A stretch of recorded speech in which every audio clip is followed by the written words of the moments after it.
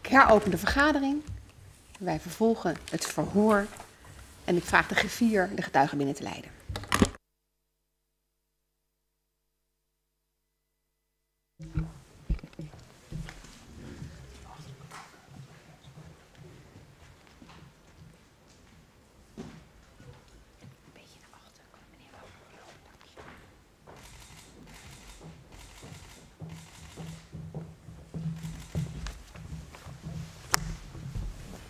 Als u straks de ede hebt afgelegd wilt, kunt u uw stoel aan deze kant instellen. Oké, dank u wel.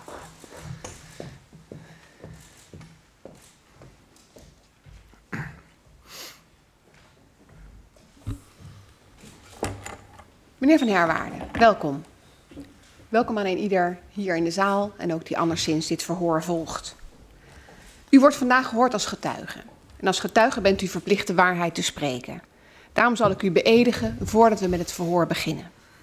En dan vraag ik u met de eed te bevestigen dat u de gehele waarheid en niet dan de waarheid zult spreken. Wilt u met mij gaan staan?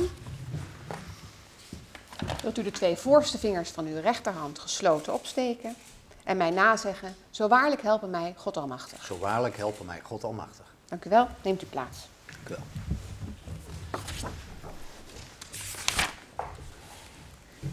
Meneer Van Herwaarden, u bent werkzaam bij de Inspectie Leefomgeving en Transport, de ILT, als inspecteur vergunningverlening.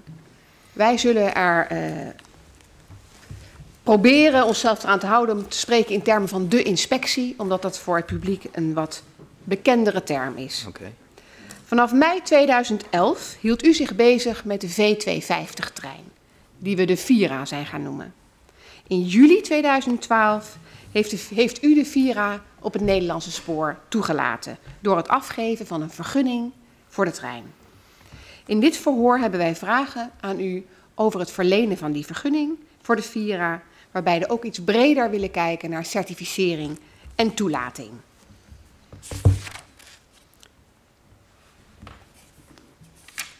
Het is misschien ook goed om even terug te kijken naar het verhoor dat we net hebben gevoerd met de inspecteur-generaal. Heeft u het gevolgd, het verhoor hiervoor? Nee, Nee. toen was ik aan het reizen. U was aan het reizen. Nou, het is misschien eh, aardig om dan eh, te beginnen met op te merken dat de inspecteur heel duidelijk heeft aangegeven dat zij vanuit haar rol eh, meer over beleid in het algemeen gaat en zij eigenlijk alles doorgemandateerd heeft aan haar inspecteurs. Daar ligt alle kracht, alle kennis, alle ervaring. Daar is ze eh, duidelijk over geweest. Dus misschien goed om dat dan in ieder geval even te memoreren. En dat maakt dus ook dat u heel veel punten voor ons kunt invullen. Die zij heeft verwezen naar u. Ik ga mijn best doen. U werkt al heel erg lang bij de inspectie. Maar voornamelijk nog over de infrastructuur. Hadden wij dat goed begrepen? Inderdaad, eh, ik werk al lang bij het spoor, 25 jaar. Eh, ehm, onder andere de vrijgave van de Betuweroute gedaan, dat is infrastructuur. Dat klopt. Ehm, maar ik ben ook een eh, aantal jaren keurder geweest bijvoorbeeld. eh, eh, en collega nog van de heer Jonkers die jullie gesproken hebben. Dus mijn achtergrond is eh, ingenieur eh, werktuigbouwkunde. Ehm, eh, maar diverse landelijke projecten gedaan. eh, eh, inderdaad ook infrastructuur en uiteindelijk weer eh, materieel. Ja. Dus u heeft ook ervaring met, het, eh, met de vergunningverlening voor materieel. ja? Europese wet en regelgeving schrijft voor dat eh, de inspectie voor de vergunningverlening zelf geen technisch onderzoek mag doen. De inspectie moet haar besluiten baseren op onderzoek dat is gedaan door de keuringsinstantie. Controleert de inspectie bij een aanvraag zelf ook inhoudelijk of de keuringsinstantie een juiste beoordeling heeft gemaakt? Of gaat de inspectie in principe uit van vertrouwen in de keuringsinstantie? Vertrouwen is eh, uitgangspunt voor heel onze inspectiedienst. Maar voor vergunningverlening is eh, eh, juist wel weer veel wet en regelgeving aanwezig. Dus dan toets ik, en dat is mijn rol, of voldaan wordt aan die wet en regelgeving. Ehm, daarbij is vertrouwen het uitgangspunt, maar mijn taak is dan om daar een zogenaamde plausibiliteitscheck op te doen. Dus dat betekent, ehm, ik krijg heel veel informatie, heel veel documenten. Eh, die ga ik beoordelen op eh, inhoud, juistheid, correctheid. Als ik daar dieper op door wil gaan, dan eh, stel ik er vragen over. Ik check ook het proces en ik check of er de juiste aandacht is gegeven aan risico's als, daar, ehm, als die aan de orde zijn. En die waren er ook in dit project, eh, zoals ERTMS bijvoorbeeld. Dus u, kijk, u, u met de wet en regelgeving in gedachten en het vertrouwen tenzij, kijkt u of het hele proces goed is gegaan. U ziet daarin ook enige beoordelingsruimte zelf. Van wat eh, vind ik van het totale dossier wat voor mij ligt. Eh, maar u heeft niet zelf naar de trein gekeken. Nee, er is eh, niet de noodzaak, eh, ik mag het wel, maar er is niet een eh, verplichting om dat te doen. Is er een meerwaarde om het te doen? Nou, dat bepaalde ik ter plekke en bij de V250 heb ik dat niet specifiek hoeven doen. Dus u had niet Niet het idee dat u daarin beperkt was. U had de trein kunnen inspecteren zelf, maar u heeft ervoor Ja. gekozen om dat niet te doen. Exact. Ehm, hoe kan dan eigenlijk de inspectie nagaan of een keuringsinstantie de juiste beoordeling heeft gemaakt, wanneer er zelf niet technisch onderzoek wordt gedaan? Kunt u dat duidelijk maken? Nou, wat denk ik eh, sowieso belangrijk is en waar, waar u eigenlijk in uw inleiding mee begon, eh, ik ben het eens met onze inspecteur-generaal, dat eh, vakmanschap bij ons uitgangspunt is. Dus in, ehm, in april eh, 2011 werd ik door mijn toenmalige leidinggevende gevraagd, wil jij het stokje overnemen in het kader van de V250? Nu er een belangrijke fase optreedt in die vergunningverlening, hè, de eindfase, tot het moment waarop het daadwerkelijk tot een vergunning moest gaan komen. Ehm, natuurlijk was bekend dat ik werktuigbouwkundige ben, eh, met, met een eh, redelijk brede staat van dienst. En dat was aanleiding. Je moet wel inhoudelijke competentie hebben om dit werk van inspecteur te kunnen doen. Om de juiste vragen te stellen, wet en regelgeving te kennen en, eh, en, en feeling te hebben met waar zitten nou risico's in dat hele railverkeerssysteem en hoe is dat gelinkt aan dit product wat hiervoor ligt. En dat kon ik wel aardig, denk ik. Even mijn collega. Een eh, paar vragen nog. Eh, op een gegeven moment neemt u het werk over van uw collega, die eh, allerlei activiteiten al heeft gedaan ter voorbereiding van de vergunningverlening. Hoe liep die overdracht? Wat, wat gaf uw collega u mee over dit, eh, deze vergunning? over Ehm, de vieren? Het, het klopt dat we eh, eh, in eh, april 2011 met ook alle betrokken partijen eh, overigens eh, pressure cooker sessies hebben georganiseerd. Die waren geïnitieerd vanuit onze dienst, omdat alle klokken weer eens gelijk gesteld moesten worden. Maar mijn vraag is even de- collegiale overdracht. Ja, oké. Toen heb ik daar van die collega, hè, want er zou wat vers bloed in, in het traject komen, dat was ik. Hebben we een overdrachtsmoment gehad, maar dat ging over alle eh, materieel van HSA. Want dat speelde eigenlijk over het hele HSA-pakket, dus inclusief Thalys en ICE. Begrijp ik u dan goed dat in de overdracht eh, van uw collega, toen u de verantwoordelijkheid Mhm. overnam met betrekking tot de vergunningverlening Vira, dat er niet inhoudelijk over de Vira is gesproken? Nee, ik kreeg toen eh, vooral procespunten aangereikt, hè, want daar zaten we middenin om goede afspraken te gaan maken. Het toetskader was toch nog steeds niet helder. dus dat hebben we moeten vaststellen. De rolvastheid van iedereen hebben we toen benadrukt. Eh, maar technisch inhoudelijke issues, ehm, Of waarschuwingen van let daar en speelde- daar op? nee. nee. Dat, eh, dus het waren, de, in de overdracht was vooral procesmatig, niet eh, inhoudelijk. Ja. En dan nog even voor de zekerheid, eh, voordat u van start ging met het project Vira, de vergunningverlening, had u daarvoor nou ervaring met het toelaten van treinen of niet? Nee, niet sec met een nieuw, nieuwe trein, want die kopen we niet zo heel vaak in Maar Nederland. wel met een trein. U had wel ervaring met het toelaten van treinen. Bij de inspectiedienst eigenlijk nog niet zo heel veel daarvoor. Ik kende wel de algemene processen, maar waar mijn kracht denk ik op dat moment vooral lag. Ik was op dat moment ook eh, eh, coördinator inter- International Affairs voor, voor ons domein rail. Dus ik was wel goed bekend met de TSI's en eh, aanbevelingen over hoe je ehm, materieel moet immatriculeren of eh, tot een vergunning moet komen. Niet alleen in één lidstaat, maar ook hoe je dat met elkaar in Europa moet doen. Dus het eh, zat met name dat u veel kennis had ook over de wet en regelgeving, die Ja, technische specificaties, interoperabiliteit. Maar dit was eigenlijk de eerste trein eh, die u toeliet. dit was voor mij het eerste grote nieuwbouwproject eh, sinds lange tijd, behalve dan de periode dat ik zelf keurder was Ja. bij de, bij de, Ne- nee, maar ook keurder bij de Nederlandse spoorwegen. Ja. Maar toen heb ik zelf in een fabriek gestaan ehm, van eh, Dat Antwoord was is Alst- helder. Alstom Ja. eh, Belfort. Ja. Nog, nog één vraag. Eh, we spraken hiervoor met mevrouw Tunissen over... mag je nu zelf als ILT onder die trein kijken? Dus een inspectie uitvoeren? En zij zei, ja, als ik de wet interpreteer, eigenlijk niet. Maar u geeft aan, eigenlijk mag dat. Dat klopt. Ja. Ik had dat gemogen. Ehm, en ik had het ook gedaan eh, als ik daar aanleiding eh, toe vond. Want dan had ik die ruimte benut om dat met mijn eigen ogen desnoods eh, te willen zien als ik ergens aan twijfelde. Maar er waren eh, hè, eh, in mei 2012 nog twaalf technische onderwerpen waarmee ik voortdurend in gesprek was door het, met het project. En ehm, U heeft nooit de behoefte gehad om onder die trein als inspectie te kijken in dit hele project. dat klopt. Ja, dan gaan we voor, over naar het, het volgende. Sorry. Ja? Ik heb nog, Ja. toch nog even in de algemene zin een vraag en we gaan daar nog op inzoomen. Maar kan een reiziger er nou eigenlijk van uitgaan, in de algemene zin, dat een trein die gecertificeerd is ook veilig is? Ik denk het wel. Want eh, eh, de certificatie is uiteindelijk gebaseerd op TSI's. Hè. Eh, we, hebben, we hebben al diverse keren gesproken, naast veiligheidsrichtlijn en interoperabiliteitsrichtlijn.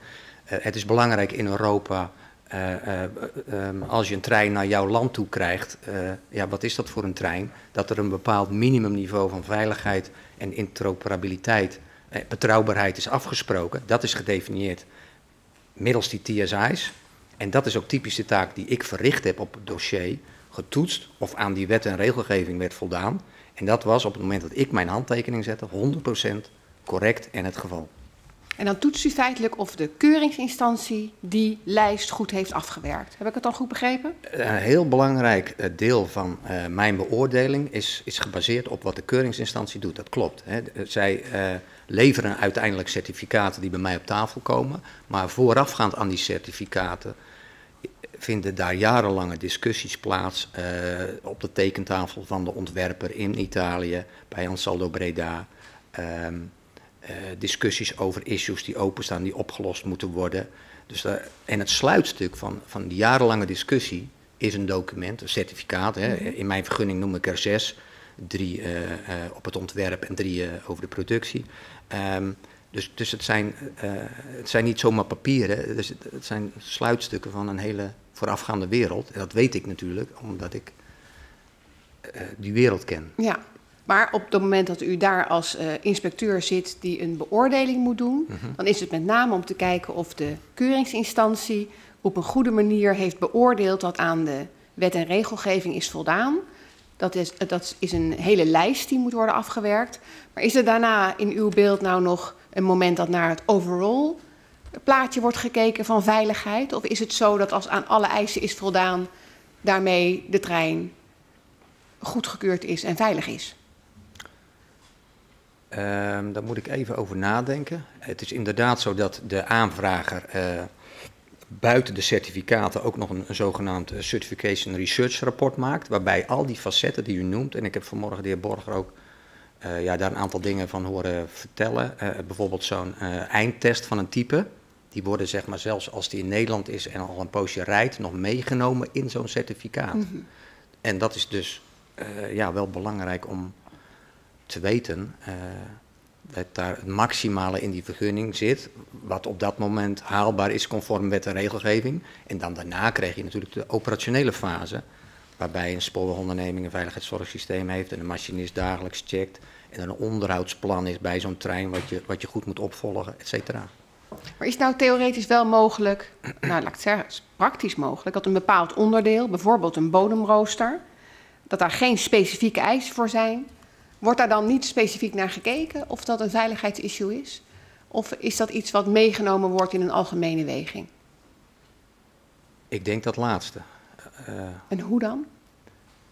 Ehm, buiten de specificaties zoals we die kennen in de TSI's, hè, die dus eigenlijk, je zou kunnen zeggen, dat geharmoniseerde minimum eh, specificeren, is daar een bepaalde vrijheid voor een producent om, om eh, dingen buiten die scope, ik hoorde vanmorgen de heer Borger interieur zeggen, ik denk dat dat een goed voorbeeld is. Er zijn dus eh, vrijheden die je ook kunt fabriceren, maar waar, waarbij je natuurlijk ook gewoon een goed product wilt maken en wat ook getest zal moeten worden.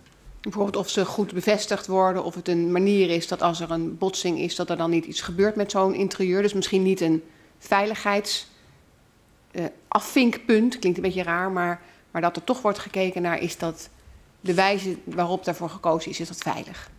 Ja, dat, dat is uh, het valideren van het beoogde ontwerp. Van, hè, je bedenkt iets in theorie en op de tekentafel met de beste experts die, en ingenieurs die daarbij betrokken zijn. Maar je moet uiteindelijk, en dat is altijd de praktijk, in, het echt een, behoorlijke periode proberen. En, en, dan weet je of het inderdaad echt doet wat je hoopte dat het zou doen. Uh.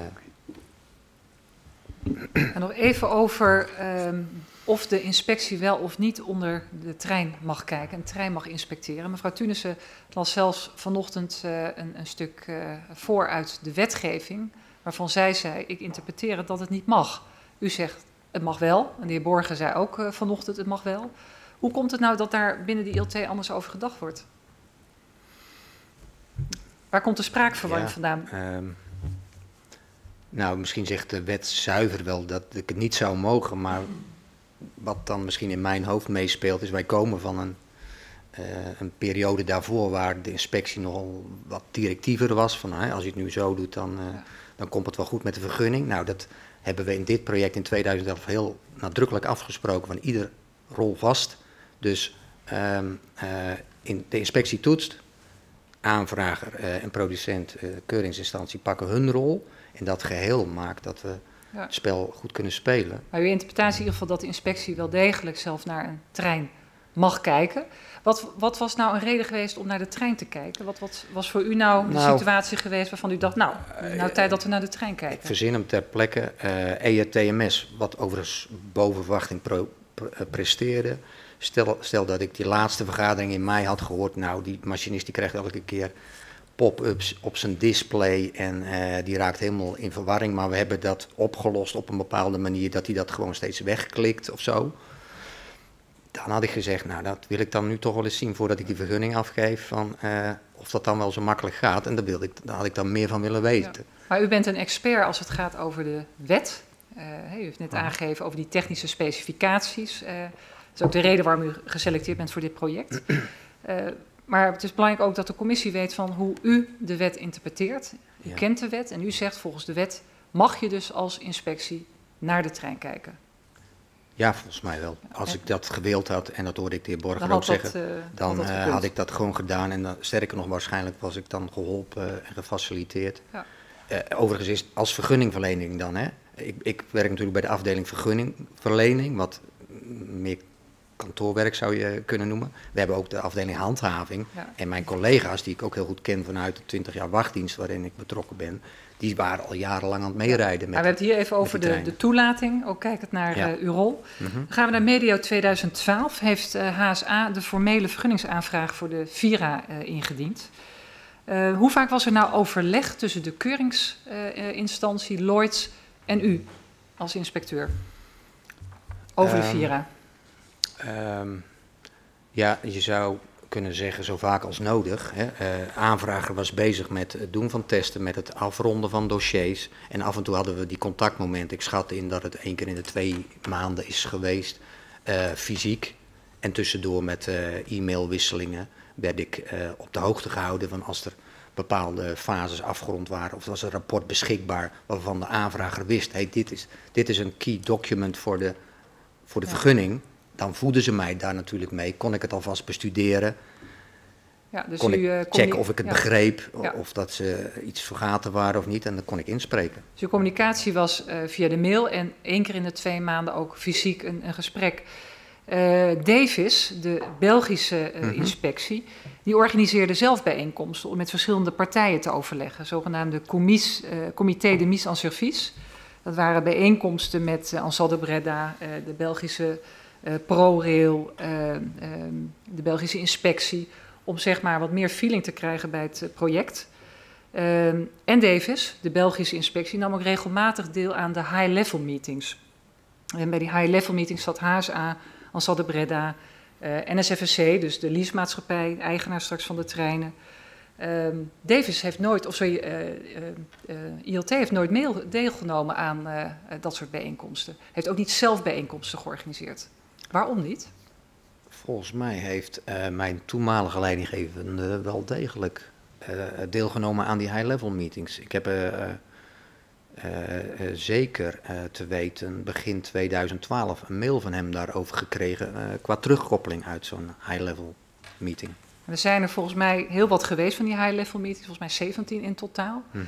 En u zegt van, nou, in ieder geval waarvan u weet is dat uw eh, leidinggevende in ieder geval één keer Ja. bij zo'n high-level meeting Ja. eh, eh, is geweest. Begin Dat 2012. gaan we nog even heel goed, eh, goed na. Maar het is in ieder geval niet zo dat de ILT zelf heel veel organiseerde bijeenkomsten om met meerdere partijen aan tafel te zitten.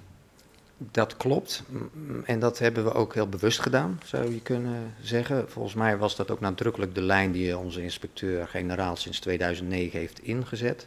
Rolvast zijn, dat is belangrijk. Voorspelbaar zijn in, in eh, eh, wat, wat je van de ILT mag verwachten. En dat was ook in mijn periode, ik noem nu die pressure sessie, eh, een van de, beetje de, ja je zou kunnen zeggen, de collectieve frustratie in het project. En het liep al wat langer. Het was allemaal heel verklaarbaar. de, de, de, het toetskader was nog steeds niet helemaal duidelijk voor iedereen. Toen hebben we het echt een keer goed vastgezet.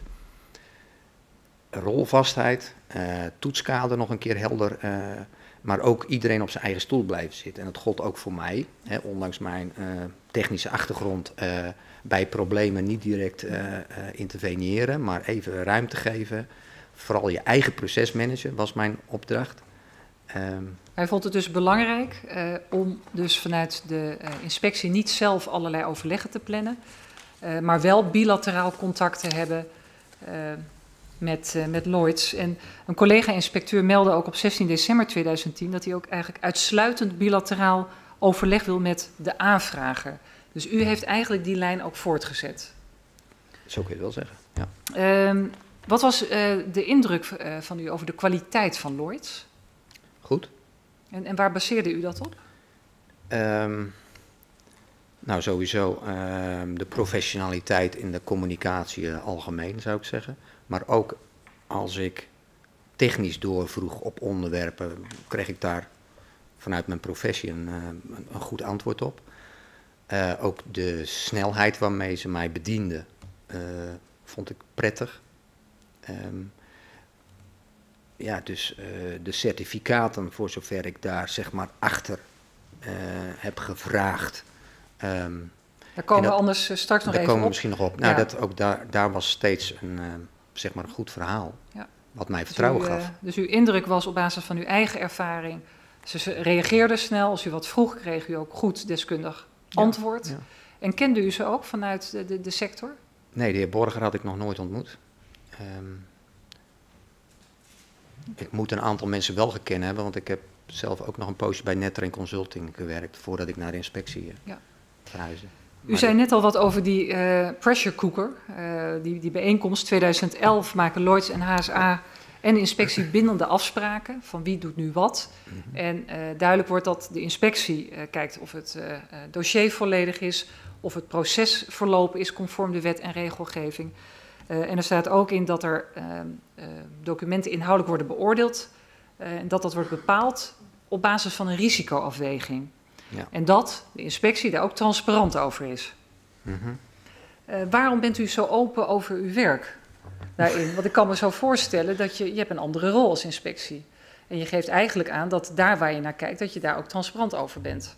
Ja, ik, ehm, we- volgens mij worden we van belastinggeld betaald en heeft iedereen een recht om te zien wat een inspectiedienst doet. Dus in die zin ben ik transparant. Nee, maar ik bedoel even in de relatie naar Lloyds geeft u heel duidelijk aan waar u naar gaat kijken. Dat is even Ah, de oké. vraag, snapt u? Ehm, ja, nou, ik, ik vind zelf dat we dat overigens dat punt nog juist wel weer wat beter kunnen doen. Maar dat is eh, onze interne kwaliteit, want dat is helemaal niet zo expliciet gebeurd. Er is, was niet een lijstje met risico's eh, van kijk hier en hier ga ik naar kijken. Maar wat er wel was, was het reguliere overleg en mijn daadwerkelijk optreden daarin, wat risicogebaseerd was. En dan, dat kun je dus gewoon nalezen in de verslagen van die eh, meetings die we hadden. Dus dan vraag ik over, nou in de laatste fase in mei 2012 kun je nou nog eens uitleggen wat zo'n SD-certificaat bij jullie nu inhoudt en wat heb je dan gedaan? Nou, dat, ik, ik, begrijp dat we daar straks over gaan praten, dus dat hoef ik daar nu niet te doen. En zo zijn er nog een aantal technische onderwerpen geweest waarin ik... U vond het een voordeel om transparant te zijn, ook naar Lloyds, over waar u precies naar ging kijken van tevoren? Oh, dat wisten ze niet van tevoren. Nee, nee dat was ook wel weer een verrassingseffect. Wat ik... Het is goed dat ik nog even doorvraag, want er, eh, Ja. is de afspraak gemaakt dat er een inhoudelijke toets wordt gemaakt. Eh, dat was, eh, het, dus de, het dossier moet kloppen, het, het proces moet voldoen aan de wet en regelgeving. Mhm. En er wordt gekeken naar een aantal documenten op basis van een risicoafweging. En we hebben gelezen ook in dat verslag, daar moet de inspectie transparant over zijn. Hoe moet ik dat dan interpreteren? Ehm, nou, wat ik u net schetste, het is wellicht een verbeterpunt om, om dat nog eens een keer expliciet op een, lijstje te hebben. Maar eh, eh, ik kwam in 2011, eh, er was al zeven jaar voorbij gegaan in onderling overleg. Dus er waren al allerlei risicovolle situaties besproken, zou ik bijna zeggen. En natuurlijk, sommige dingen zijn zo'n open deur. Het nieuwe ERTMS, het, het, dat, is een, dat is een nieuw systeem. Dus per definitie is dat er nou zo één waarin extra risico's zouden kunnen zitten. Dat is sowieso het be- beveiligingssysteem van die trein. Dus dat kreeg natuurlijk de extra aandacht. Ja, daar zijn we dan transparant over. Ja, nou ja, dat is ook een beetje open deur. ja. Maar waar, waarom zou u dat van tevoren aangeven? Wat is daar het voordeel van? Ehm, Want het is heel duidelijk afgesproken, wij zijn transparant over die risicoafweging. Nou, ik weet niet of wat u, wat u nu zegt, dat u doet op de brief die in de Tweede Kamer ligt over, over die drie dingen die wij doen. Hè? Eh, 17 eh, juni 2013. Ik heb gecheckt of het proces goed was, de documenten. Ja. En, en, en eh, ik kijk naar speciale eh, risico's. Maar die- staan niet bij elkaar op een, netjes op een lijstje, als u dat bedoelt. Maar wij hebben het wel netjes op een lijstje gezien. Oh, nou, ik, Eh, en, en daarbij ook de opmerking eh, dat de ILT daar transparant over is. Maar dat kunt u even niet plaatsen. nee, dat lijstje, transparantie. moet u me even helpen wanneer dat lijstje dan, eh, van welk jaar dat dat dateert. Even Ik- kijken, vanaf eh, 1 mei, even kijken, worden de, ups, ik ga even snel door mijn informatie. November 2011 komen HSA, IVW en Lloyds tot definitief en bindende afspraken. De inspectie zegt daarbij bij de beslissing over de verleding te kijken naar volledigheid, proces, Ja, op een deel van de inhoud aan de hand van een risicoafweging. Daarbij wil en zal IVW meer transparant zijn over de inhoud van de risicoafweging. ja. ja. Dus dat is eigenlijk letterlijk wat ik net zei. Ja, ja u heeft gelijk. Eh, ik denk dat ik dat dus gedaan heb, Nou, in die overleggen. Ja, nou, fijn dat we het daar eh, over eens zijn. Maar mijn vraag is van waarom wilde u daar transparant over zijn? Kunt u daar nog een beeld bij hebben of weet u het Dat niet was, meer? ja, nu u het zegt, eh, komt er wel weer wat boven. Ehm een van de verwijten, om het maar heel vierkant te zeggen, maar dan is die ook heel duidelijk, die eh, bij die pressure cooker sessie naar boven kwamen, was ILT stelt soms nieuwe eisen en motiveert dat niet. Ehm, dat is natuurlijk niet goed voor een eh, rijksoverheid, eh, voor een inspectiedienst, want wij, wij mogen helemaal geen nieuwe eisen stellen. Eisen worden in de wet en regelgeving gesteld. Dus dat heb ik me aangetrokken. En eh, vanaf dat moment moet je dus ook zo transparant mogelijk zijn. Je eigen proces managen, verwachtingen managen over wat je gaat doen. eh, wat, wat je graag wilt zien en, en wanneer het ook goed genoeg Ja. is. En daarmee neem je niet zeg maar, het risico, eh, als je zo transparant hebt, dat de ander precies weet waar je naar gaat kijken. En, en daardoor in die keten, want hè, we hebben vanochtend er uitvoerig Hmm. over gesproken, je bent afhankelijk van de informatie van een partij, maar je wil natuurlijk ook wel controleren, is dat nou allemaal goed, is het volledig, Hmm. klopt dat? Als je van tevoren al aangeeft dat je daar transparant over bent, dan kan daar een risico zijn. Ja, dat zou kunnen, maar zoals ik u schetste, eh, dat, dat was helemaal niet zo transparant. En ik denk dat het voor hun wel regelmatig een verrassing is geweest waar ik eh, op door ging vragen. Ik vat dit onderdeel even samen. Als het gaat over eh, uw communicatie met Lloyds, eh, dan vond dat veel plaats via de mail. Eén keer in de twee maanden was het fysiek. Ehm, de Nederlandse inspectie heeft er niet voor gekozen ten opzichte van de Belgische inspectie om eigen bijeenkomsten te organiseren. Om meer feeling te krijgen bij het proces, maar zich zuiver te houden aan het bilaterale overleg waarvoor gekozen is. Ehm, als we het hebben over die high-level meetings, weet u in ieder geval uit uw herinnering eh, dat eh, uw leidinggevende daar één keer geweest is. Uit onze informatie blijkt van de 17 bijeenkomsten dat eh, de ILT praktisch nooit aanwezig was. Eh, en daardoor krijg je natuurlijk wel wat minder informatie vanuit verschillende uh, partijen. En er is een moment geweest, pressure cooker, waarin u bindende afspraken heeft gemaakt over rol en verantwoordelijkheden. En uh, daar hebben we het denk ik net uitvoerig over gehad. Ik geef het woord aan mevrouw van Torburg. U gaf net een interessant voorbeeld. Namelijk als machinisten een, uh, een alarmpje zouden krijgen en de knop zouden wegdrukken, dat zou een moment zijn waarop u kritische vragen stelde. En dan zat ik na te denken, maar inmiddels uh, komt het ook weer naar boven, omdat op enig moment uh, in diverse testrapporten dat beeld opsteeg. Namelijk op het moment dat de trein de grens overgaat, mm -hmm. gaan er iedere keer alarmbellen van dingen die niet klopt, dus alles werd weggedrukt.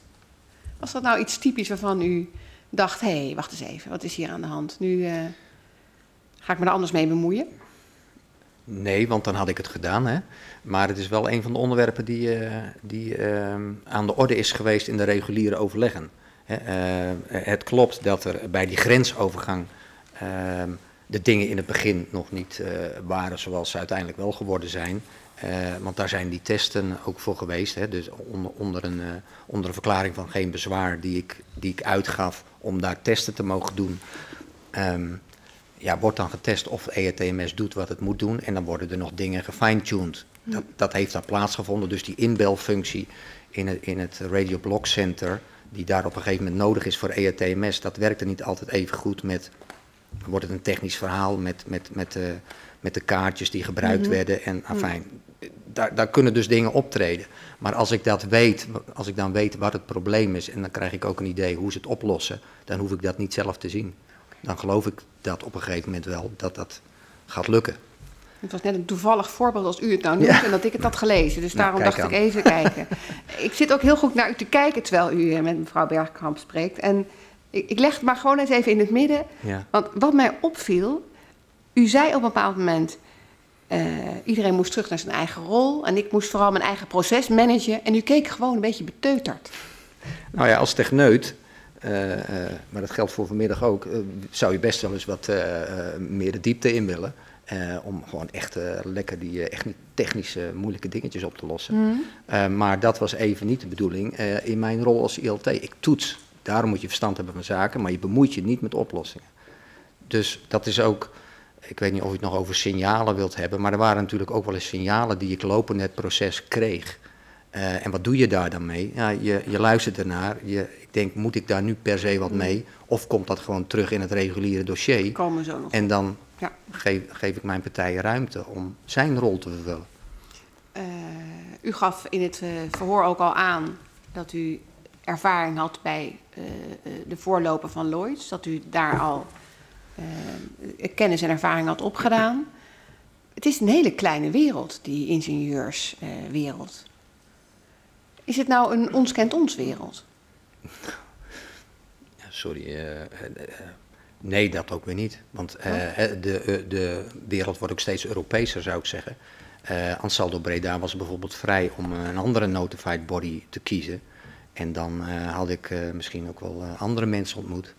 Maar nu had u de mensen van Lois ontmoet en u kende ze en dus u had nee, ik kende er vertrouwen ze, in. Zei u dat ik Borger, de heer Borger, die Borger niet die kende. kende u niet, die kende u niet. Een aantal andere die ik ooit wel een keer ook in dit proces heb ontmoet, die, die, die, dat waren nog wel oud-collega's van me, een enkele.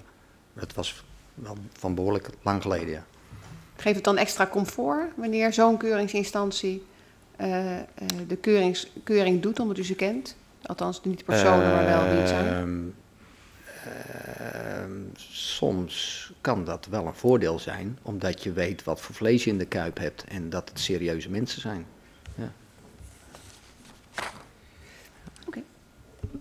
En uh, u ging daarbij ook uit van uh, het vertrouwen in, in Lloyds, in uw werk. We hebben daar ja, vanochtend ik, met mevrouw Tunnissen over gesproken, ja. het vertrouwen tenzij-principe. Ja, bij, maar bij vergunningverlening is, is er toch behoorlijk wat geregeld. En dan heb je minder vertrouwen en meer gewoon echt checks op ja. dingen. En moeten dingen gewoon gebeuren. En moeten certificaten zijn, et cetera.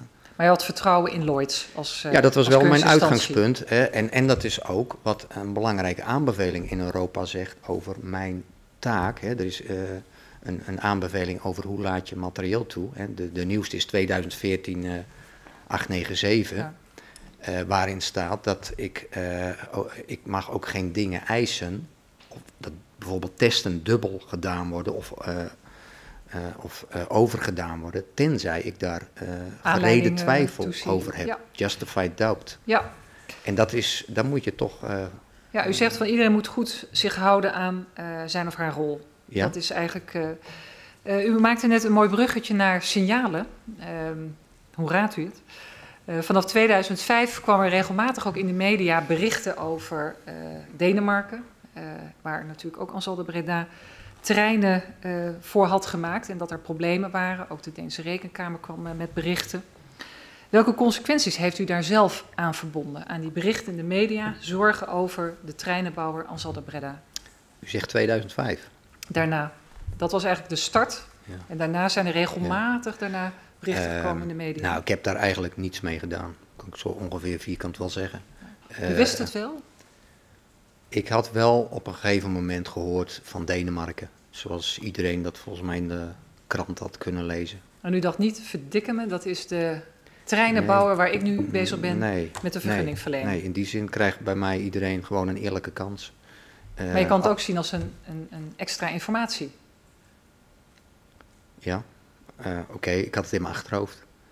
Maar het, het veranderde niet eh, hoe ik acteerde op mijn eh, dossier. Want dat zou sowieso goed moeten zijn, wilde ik ooit daar mijn handtekening Ja. eh, onder zetten. U had het in uw achterhoofd, in ieder geval dat wel. U was er ook bekend mee. In april 2012 attenderen twee collega-inspecteurs u op een blogbericht over problemen met de Vira. En dat bericht noemt onder andere problemen met de software, het doorbranden van printplaten, opengaande deuren bij, eh, of tijdens de ritten, losse kabels, hoge onderhoudskosten. En een van die inspecteurs, uw collega, schrijft een drama te verwachten. En de ander vraagt of bevestigt dit wat we eigenlijk al weten. Hoe bent u met dat bericht omgegaan? Dat is dan niet de media, maar het zijn uw eigen collega's. Klopt, waren overigens collega's van de afdeling handhaving, hè, die dus dagelijks eh, buiten zijn. Maar die ziet u Dit- wel gelukkig nog als collega. Jawel, Ja. eh, zeker wel. Ehm, want eh, ja, daar hoorde je wel eens wat van. Dit is overigens dan van een blog eh, wat, wat niet meer te achterhalen was. Ehm, ja, wat ik ermee deed, ik las het, eh, ehm, concludeerde ook dat het, eh, u noemt ook deuren, eh, dat was een, een openstaand issue. Ik had op dat moment nog twaalf technische onderwerpen die ik aan het bespreken was met, eh, met de aanvrager. Maar ook losse kabels, hoge onderhoudskosten. Hè, er stond veel meer Ja, in dat blogbericht. Daar kon ik dan eigenlijk eh, eh, niet veel mee. En niet directie, direct een actie die ik daarop kon plegen. Eh, maar, maar verder constateerde ik dat er ook een overlap zat in. Ja, het was ook nog de testfase. Dus er was ook nog geen vergunning. Dus het is ook logisch dat dingen nog niet af zijn. Dus daarom is er ook juist een testfase en reden die treinen nog onder een VGB. Maar dit was een bericht uit april 2012. Dus dat is niet echt helemaal nog aan het begin. Nee, Dat is bijna aan het einde. Ja, ja. maar ehm, dossiers werden nog afgerond. Er waren nog, eh, wat ik u schets, eh, eh, nog openstaande technische onderwerpen. En er zat een grote overlap in. Dus ehm, ik heb het in mijn achterhoofd gehouden en, en ben verder in het reguliere overleg eh, ehm, getreden zoals ik dat steeds deed. Nou, er stond in het blogbericht ook eh, twijfels of de Vira ooit zal worden toegelaten. Dus het, het was wel een krachtig signaal. Maar u zegt, eh, eh, ik heb het gelezen en ik heb daar geen consequenties aan verbonden. U, werd niet extra gealarmeerd. Eerst de berichten vanuit Denemarken langzamerhand, waarvan u zegt het is in mijn achterhoofd. Ja. Dan april 2012 twee collega's van een andere afdeling die zeggen, nou, is dit iets wat we eigenlijk al misschien, bevestigt dit wat we al, eh, Ja. al weten? Een drama te verwachten? Ja, ik moet dan toch maar teruggaan naar. Ik had het echte dossier voor me liggen. En met, de, met, met de echte aanvrager en de echte discussies die daar nog over liepen. En ik zou overtuigd moeten gaan worden van de goede afloop van al die onderwerpen die nog open stonden. En dat ben ik uiteindelijk ook. Voordat mijn handtekening daar eh, zou komen. En tot die tijd eh, ja, pak je signalen mee. eh, Maar het is niet zo dat op basis van deze signalen u dacht van nou, ik moet toch met Lloyds even gaan praten over kwaliteit en betrouwbaarheid. Hè? Die openstaande, Nee. opengaande deuren, die losse kabels, onderhoudskosten. Het was niet voor u een signaal om Lloyds extra te bevragen hierover. Dat heb ik toen niet eh, bedacht, nee. Waar- waarom niet? Ja, omdat ik u schets. ehm, ik, heb, ik neem het mee in het reguliere overleg. Er zat een grote overlap met, met deuren, Eh, een printplaat die een keer doorbrandt, ja, kan gebeuren. Dan, dan, moet je, dan moet je misschien nog even wat oplossen. Maar dan was die test- en validatiefase nou ook juist voor. Het zou erger geweest zijn als na de vergunning dit soort dingen eh, allemaal nog zouden optreden. Nou, laat dat nou ook gebeurd zijn. Gaan we het Daar vast- de hand zijn natuurlijk een aantal zaken uit dat blogbericht ook, ook eh, uitgekomen. Maar het was in ieder geval bij u geen, eh, u heeft er zeg maar geen consequenties aan verbonden. U dacht niet van ik moet met Lloyds extra bevragen. Ehm, dat, Nee. dat in ieder geval niet. Eigenlijk niet. Nee. Geef het woord even aan eh, de voorzitter. Nou ja, het, het, het, het fascinerende hieraan is, is dat eh, ongeveer een maand later worden de certificaten afgegeven. Is dat dan niet dan juist een moment dat u denkt van hé, hey, binnen een maand tijd krijg ik zulke zorgwekkende signalen. En, eh, Een paar weken later zijn alle certificaten rond. Ja, maar eh, mijn laatste twee overleggen. En inderdaad, toen kwam, kwamen we echt in een hele drukke fase, zou je kunnen zeggen. Hè. 21 mei, eh, groot overleg, 12 eh, openstaande punten. 31 mei. Ehm, dat was de fase, inderdaad. Dus, dus nou ja, inmiddels dan toch weer een maand na, na deze signalen. Waar ik de laatste puntjes op de i ben gaan zetten qua plausibiliteitscheck. Dus toen Ehm, had ik inmiddels ook eh, eh, nou, de laatste documenten binnengekregen. Daar heb ik op, eh, op, in die twee vergaderingen vijf aanvullende documenten gevraagd op onderwerpen die vanuit risico ook belangrijk zijn. Ehm, en, en ja, daarmee verdampten eigenlijk alle signalen die daarvoor of eh, wat vaag geweest waren. En bovendien, ja, eh, geruchten, daar, daar kun je niks mee op een gegeven moment. Wist u dat er geen toezicht gehouden was op Lloyds als keuringsinstantie? Nee, dat wist ik niet. Sinds wanneer wist u dat? Ik eh, weet dat Horvat dat geconcludeerd heeft. Eh, dus ook een van de twee openstaande ehm, aanbevelingen, of, of nee, twee, eh, twee van de issues die zij maakte richting ELT. Het- het- ik vond overigens wel een verbazingwekkende conclusie, want ik weet dat het een aantal jaren ten onrechte niet was gebeurd bij ons, maar vanaf 2010 elk jaar wel, gewoon zoals het hoort. Ehm, toezicht op eh, Lloyds als een NOBO, keuringsinstantie. In 2010 hebben we ook ehm, een eh, actie eh, verlangd van, eh, van Lloyds. En wij hebben ook bevonden dat die in 2011 eh, niet meer aanwezig was. En ook de jaren daarna hebben zij gewoon goed gepresteerd en geacteerd zoals wij dat toetsen. En, maar dat zijn dan de vergunning, de Mm. collega's van vergunningverlening bedrijven. Als u dat op dat moment had geweten, en ik ben gewoon op zoek naar wat, Mhm. wat- welke combinatie van factoren zou nou hebben gemaakt dat u de signalen niet alleen in uw achterhoofd had gedaan, maar er ook eh, eh, actief op zou hebben geacteerd. Als u had geweten dat er dus geen toezicht werd gehouden op Lloyds en dan al die signalen van Denemarken, een blogbericht en vervolgens een certificaat, had u dan misschien wel geacteerd? Ik acteerde voortdurend, maar niet op basis van geruchten. Maar dit is geen gerucht, hè? geen toezicht op Lloyds. Het is gewoon een Oké, feit. u bedoelt die. Ehm, Dus die komt daarbij. Eh, Denemarken was ook geen gerucht. Het is gewoon ja, gierende problemen. ja, maar die, die, die was eh, ja, toch wat mij betreft ook wat vaag, wat, wat ouder. En het toezicht op Lloyds, ik wist dat ze... Ik kwam in 2011, in 2010 was het in orde, 2011 was het in orde, 2012 was het in orde. Dus ik had geen eh, twijfels over de keuringsinstantie eh, Lloyds Register Nederland, eh, de NOBO. In- uitgangspunt was, ze zijn gecertificeerd. Dus wat daar uitkomt is goed, om het maar simpel te zeggen. Nou, toch nog even over dat, dat blogbericht, eh, voordat we er misschien toch te snel overheen stappen. Eh, een van uw collega's zegt ook, NS zou er goed aan doen de bestelling van de Vira helemaal te cancelen. En alsnog de puntje, puntje, puntje te, te kopen. En als we kijken naar dat blogbericht, daar staan er toch echt wel wat eh, heftige uitspraken in. Hè. We hebben ons hier vaak afgevraagd waarom in godsnaam voor Ansalde Breda is gekozen. Eh, de afdeling commercie eist een speciaal voor Nederland ontworpen trein. Het ziet er bijzonder slecht uit voor de Vira. Eh, in alle ritten waren problemen met de software. In 20% van alle ritten branden de printplaten door. Het beveiligingssysteem geeft onbekende foutcodes, waardoor de treinen zonder aanwijsbare oorzaak stil komen te staan. Het is in ieder geval opgesteld door mensen die ervan wisten, kijkend naar de feitelijkheid. En dan zijn er twee collega's die zeggen, bevestig dit wat we al weten. Uh, heeft u die collega's opgebeld? Te vragen van, goh...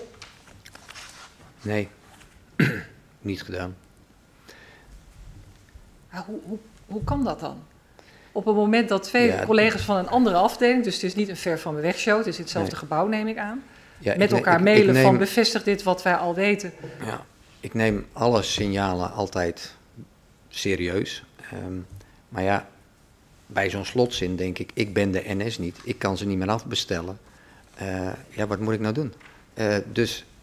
Je, nou ja, als een collega zegt bevestig dit wat we al weten, kan je misschien denken, ik bel die collega op van wat weten we dan al? Wat, wat is er dan?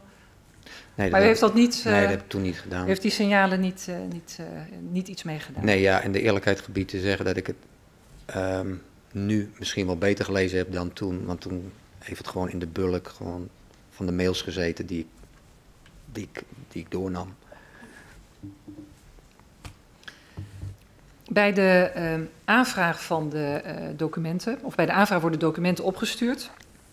Uh, en u kunt dan ook nog uh, aanvullende informatie vragen. En uh, de keuringsinstantie stuurt eigenlijk een aantal standaard dingen op. Hè. Het eindrapport, de, de, certificaten, een verklaring van de fabrikant van alle treinen zijn conform het ontwerp gemaakt. Een aanvraagformulier. Dus dat zijn eigenlijk de standaard dingen die altijd verstrekt worden. Wat voor informatie heeft u aanvullend opgevraagd?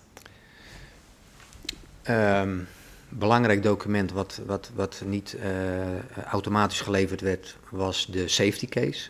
Wat is dat, een safety, uh, safety case? ja, beschrijft uh, onder andere ook de, nou, de, beschrijft de hele veiligheid van, van de trein en alle constraints, dus alle openstaande punten waar een toekomstige gebruiker rekening mee moet houden. Dus dat was een, een belangrijk document, dat heb ik expliciet op laten sturen en dat heb ik bestudeerd. Want ik wilde zien wat daarin uh, naar voren kwam. Uh, als zeg maar, wat is nog niet 100% conform wet en regelgeving? Wat blijft er op die zeven liggen? En wat vind ik daarvan? Dat is, dus is extra informatie.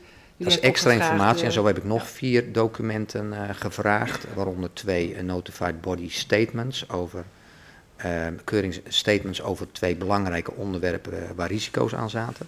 Maar om die eerste af te maken, die safety case, wat ik daar ook van wilde zien, en die dingen die dan op de zeef blijven liggen, hoe zijn die dan uh, um, richting toekomstige gebruiker? En dat is dan enerzijds HSA, de spoorwegonderneming die daarmee moet gaan werken, en anderzijds richting ProRail, de infrastructuurbeheerder, die, die ook te maken heeft met, met dingen die niet 100% uh, kunnen zijn. Dus een heel nou, belangrijk, heel essentiële. Uh, ja, dat, dat, is belangrijk, want dat ja. heeft ook met um, ontsporingsrisico ja. en, en daardoor kans op letsel voor reizigers te maken natuurlijk. Dus, um, dus dat heeft u daar ben ik in gerustgesteld, want ja. die waren ook geaccepteerd door uh, zowel HSA als ProRail. He, dat is dus belangrijk om, voor mij om vast te stellen dat wat, wat er aan speciale gebruikers, wensen of eisen bij, bij die trein zat. Helder. Dat, Okay. Voordat we er een heel technisch verhaal van maken. Ja, het is belangrijk van u om te horen dat dat, dat inderdaad heel essentieel is, de safety mm -hmm. case. U heeft ook ERTMS nog wat meer informatie opgevraagd en over de onderhoudssystematiek. Ja, onderhoud vind ik ook belangrijk. Uh, um, want ja, er moet een onderhoudsboekje bij een trein zitten. Dus ik denk, nou, la, laat, laat dat dan eens zien.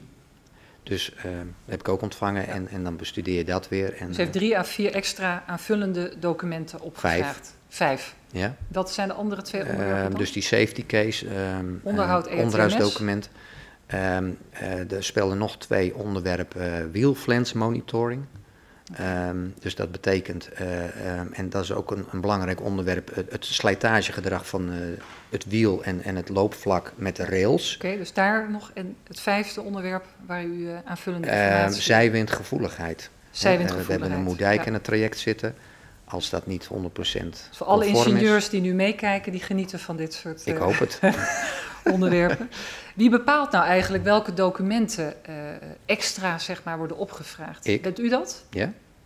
U bent degene die zegt er moet nog aanvullende informatie komen over een aantal ja. onderwerpen. Ja. En, en hoe bepaalt u zeg maar welke documenten worden opgevraagd? Wat, hoe... Nou ja, dat is dus de, uh, het vakmanschap wat je nodig hebt als inspecteur. ehm, bij de behandeling van zo'n aanvraag. Hè. Aanvraag voor, het is natuurlijk een hele grote aanvraag dit, aanvraag V250. Maar dat lijkt me wel lastig, omdat u, eh, u zei net, u heeft geen ervaring met het toelaten van treinen. Dan lijkt me dat best wel lastig om te bepalen, wat moet je nou opvragen? Hoe doe je dat? Ja, maar dan helpt dus als je 20 jaar spoorervaring hebt en eh 100 veiligheidsonderzoeken gedaan hebt met meer dan 100 aanbevelingen, dan weet je hoe de hazen lopen en waar de risico's zitten. Dat is Ja. natuurlijk het allerbelangrijkste. Dus vandaar dat ik bij dat ontsporingsrisico uitkwam en meer wilde zien daar. Ja, dus op basis van uw vakmanschap bepaalt u eh, welke aanvullende informatie wordt eh, opgevraagd. En Ja. over een vijftal onderwerpen heeft u dat ook gedaan. Eh Hoorvat is een adviesbureau wat onderzoek heeft gedaan naar de vergunningverlening op verzoek van het departement. En eh, daarin wordt geconcludeerd dat de inspectie bij de Vira een procestoets heeft gedaan en geen volledige inhoudelijke toets. En de Belgische inspectie zou wel een, in- een diepgaande beoordeling hebben uitgevoerd. Bent u het eens met eh, die conclusie? Nee, want zoals ik u net schetste, heb ik eh, meer gedaan dan eh, bij wijze van spreken papierstempelen. Eh, ik vind dat te kort door de bocht van Horvat. Ik, ik was blij natuurlijk met de conclusie dat het proces was ingericht en uitgevoerd conform de daarvoor gestelde wet en regelgeving. Dat wist ik zelf wel, maar het is heel fijn als een extern bureau dat ook nog eens bevestigt en het in uw kamer komt, de Tweede Kamer. Maar nu kan een proces goed zijn, maar de uitkomst of resultaat kan niet goed zijn. En ook in een proces kan je eh, besluiten nemen die inhoudelijk misschien niet kloppen. Hè, dus de, de conclusie van Horvat is het proces is verlopen volgens de wet en regelgeving. Ja, maar con- eh, Horvat concludeert meer, hè, eh, en, en die conclusie deel ik ook, dat de wet en regelgeving die ervoor staat, Dat, Je- die, dat het dat proces die- daaraan heeft voldaan. Dat staat er ja, letterlijk dat in. zeggen ze, maar ook dat er voldoende wet en regelgeving is, hè, om die eh, even beet te pakken. Er hoeft eh, geen nieuwe wet en regelgeving erbij te komen. Maar mijn vraag was aan u. eh, u zegt u bent het niet eens met dat er geen, inhoudelijke, geen volledige inhoudelijke toets is geweest. Omdat u zegt, ik heb wel degelijk hè, een aantal aanvullende documenten opgevraagd. Je moet vakmanschap hebben Om dat te beoordelen. om, om ook die inhoud te kunnen beoordelen. Er staat ook nog iets anders, meneer Van Herwaarde, in het Horvat-rapport. Dat niet of nauwelijks de onderliggende keuringsdocumentatie bekeken is om, zich te gewissen van de onderbouwing.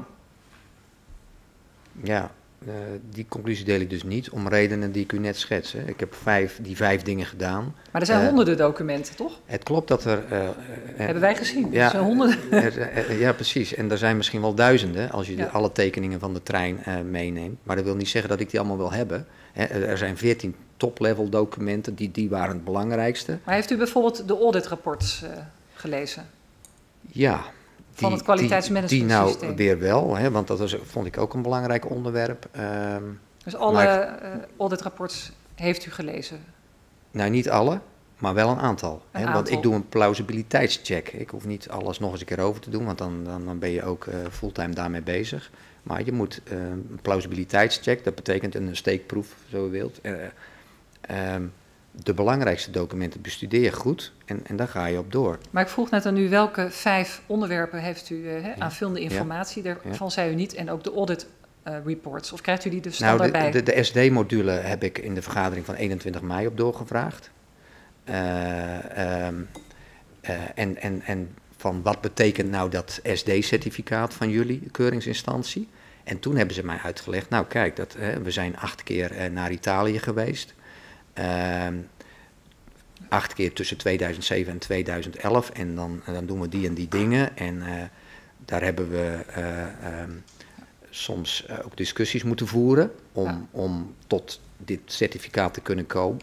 En dat was belangrijk voor mij, zodat ik vertrouwen had in dat certificaat om zeg maar, mijn vergunning weer op te kunnen Ja, maar u zegt dus, kijkend naar de conclusies van Horvat, eh, dat er niet of nauwelijks de onderliggende keuringsdocumentatie bekeken is. U zegt dat klopt niet. Nee, Dat nee. hebben zij vastgesteld, maar u zegt dat daar herken ik me niet in, want ik heb wel degelijk Ja. een aantal Ja. eh, notities, nota's opgevraagd die een onderbouwing geven. Eh, Ja. U had het over vijf eh, aanvullende documenten, maar om echt even dat, dat beeld te krijgen, want we hebben hier een rapport die iets stelt en u zegt stelt iets er tegenover. Hoeveel documenten heeft u dan uiteindelijk bekeken? Even los van de formele documenten die er Ja. standaard bij zitten. Dus de Ja. certificaten, het keuringsrapport, de verklaring van eh eh Ansel de Breda, het aanvraagformulier. Nou, Vijf hebben we er gehad. 14 heel goed bestudeerd. Nou, de- die- Dat zijn de standaarddingen. ja, vijf vijf, heeft u vijf extra extra. Dat, dan hebben we, het, hebben we het over 19. Ja, Ehm, er zijn duizenden eh, Ja. rapporten. Ik wil dit namelijk even heel scherp weten, omdat het een, tegenovergestelde conclusie is dan ten Plus- opzichte van het rapport. ja, ik zit even te denken. Ik denk niet dat ik heel veel meer ehm, extra rapporten heb willen zien. Want in de reguliere overleggen de, de, met, met de aanvrager besprak je de onderwerpen. En het gaat natuurlijk ook om eh, een beeldvorming die je krijgt, vertrouwen in zo'n project. Dus Maar dan klopt de conclusie toch van Horvat. Als, als u het heeft over... eh, nou, als u de stand- 19 weinig noemt, of Horvat 19 weinig noemt, Nou ja, van die 19 zijn er vijf, eh, even kijken, 14 standaard. Die krijg je sowieso. De, certificaten, die keurings, de, ja, eh, keuringsrapport, dat zijn de Ja. standaarddingen. ja. Dan heeft u nog vijf zaken, eh, rapporten extra opgevraagd. mhm. Eh, Maar het zijn de meest belangrijke, denk ik dan. Hè? Het is, eh, beschouw het als een piramide.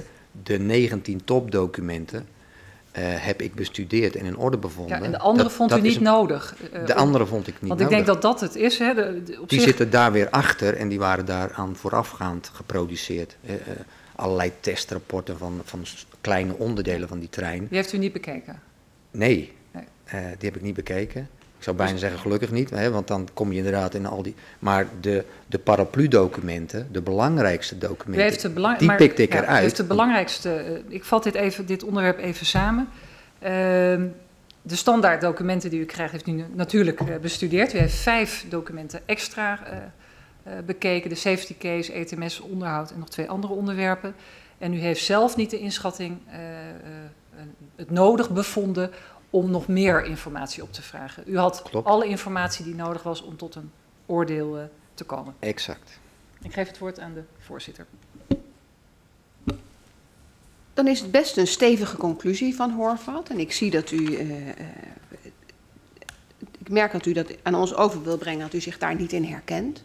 Is zo'n conclusie of een verslag eh, op basis waarvan Horvat dat nou schrijft met u gedeeld? Heeft u inzicht gehad in een concept van het verslag van Horvat? Ik ben geïnterviewd door Horvat. Ik heb zelfs nog een keer even iets moeten laten verbeteren. Eh, heb ik het concept gezien? Ik, ik kan het me niet meer herinneren. Heeft u iets moeten laten verbeteren? Wat heeft u moeten laten verbeteren? En, eh, een, eh, een foutje wat erin was geslopen omdat ik iets verkeerd in mijn hoofd had. Eh, het is altijd heel eh, ingewikkeld om een vraag te stellen zonder daar een, eh, een, sfeer bij te leggen. Maar ik, ik moet een, toch wel een, een belangrijke vraag stellen. Heeft u een idee dat de conclusie dat het niet had uitgemaakt er later bijgezet is? Of dat die vanaf het begin af aan al zo was geconcludeerd? Dat het niet uit. Oh, ik denk dat u, u doelt op het, het verschil in aanpak misschien van Davis en, en, en, en, eh, en, en ik als inspecteur. Wij Nou, als het valt op dat in het rapport van Horvath een paar keer staat dat het niet had uitgemaakt. En ik vraag Ja. aan u, weet u of dat in de eerste concepten van het Horvath-rapport Oh, nee. ook al stond? Nee, dat weet ik niet. Had u, eh, bent u daarop bevraagd of dat had uitgemaakt? Ik kan het me eerlijk gezegd ook niet meer herinneren, maar het- de feiten liggen er dat beide een vergunning hebben gegeven op basis van bijvoorbeeld dezelfde eh, eh, eh, dossier van, van de keuringsinstantie, Notified Body certificaten. Ehm, dus dat beide tot dezelfde conclusie zijn gekomen dat er een vergunning kwam. Dus dat, ja, dat onderstreept de conclusie van Horvat. Dat Bij, beide waren ingericht conform de Europese wet en regelgeving. Hè, dus niemand heeft het fout gedaan. En, en, en beide hebben ook allebei een vergunning opgeleverd. Dus Nee, maar het is wel belangrijk om eh, scherp te krijgen dat Horvat een vrij eh, stevige conclusie verbindt aan de manier waarop u gewerkt heeft. Dat u wel een interview heeft gehad. Maar u kunt zich niet herinneren of dat nou iets is wat aan u voorgelegd is dat zo'n conclusie zou worden gemaakt. Nee. En wat voor een conclusie ze eraan verbonden. Nee. Oké, dat wou ik even weten. Ja, dank u wel. Ehm, op 20 eh, april 2012 eh, dient HSA de, de officiële aanvraag in met de bijbehorende eh, documenten. Ehm, is het nou zo dat u eh, het aantal documenten of welke documenten u aanvullend vraagt, dat u dat afstemt met collega's? Of bent u echt de primus inter pares die dat bepaalt? ik, ik, wilde dat laatste zeggen, maar, maar eigenlijk ben je wel voortdurend in contact met, eh, met collega's. En, en eh, ehm, Maar heeft u het ook dat gesprek over gehad van jongens of meisjes? Eh, eh, moet ik misschien niet wat meer informatie opvragen of denk eens met me mee? nee, die keuze heb ik eh, uiteindelijk zelf gemaakt. Wel, wel met name op ERTMS-gebied met, eh, met collega van der Hout toen. Ehm, dat we echt de diepte in zijn gegaan van eh, is dit goed of moeten we hier nog meer doen? Hè, dus in die zin sta ik er gelukkig niet alleen voor. Ja. Maar kan ik terugvallen op capabele collega's om mij heen. Dus als het gaat over eh, het vragen van aanvullende informatie, die inschatting, dan, dan eh, bent u Nee, daarin dat de heb ik eh, bepalende Dat is mijn factor en zelf gedaan. Ja, ja. En op welke momenten is er afstemming gezocht binnen de inspectie? Is dat het moment voordat die aanvraag echt formeel de deur uitgaat? Of sorry, de Ehm, vergunning wordt verleend? Ik ben met de collega die ik net noemde op het gebied van E ERTMS eh, een aantal keer samen eh, eh, richting de aanvrager gegaan. Dus, dus Lloyds, om, om over dat onderwerp te spreken.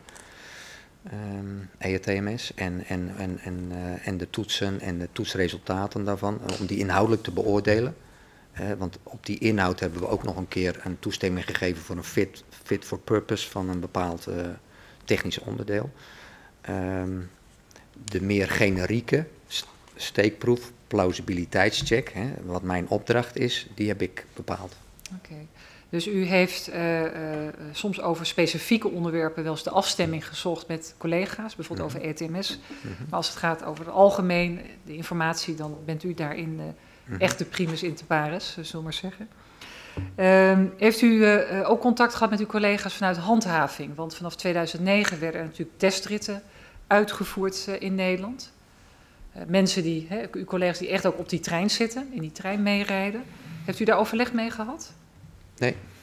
Niet, niet anders dan bij de, bij de koffiemachine. en eh, ja, de, de- de- dan hoorde je, maar dat valt dan een beetje in dezelfde categorie als dat andere signaal. Eh, eh, daar heb ik gehoord van eh, het opstarten van de trein duurt wel heel lang. Eh, Oké, Ja. dus dat pak je dan weer mee, zeg maar als een van de signalen. Maar het is meer informeel dan dat er formeel. Formeel eh, is er eh, zeker geen eh, vergadering geweest. Wa- waarom eigenlijk niet?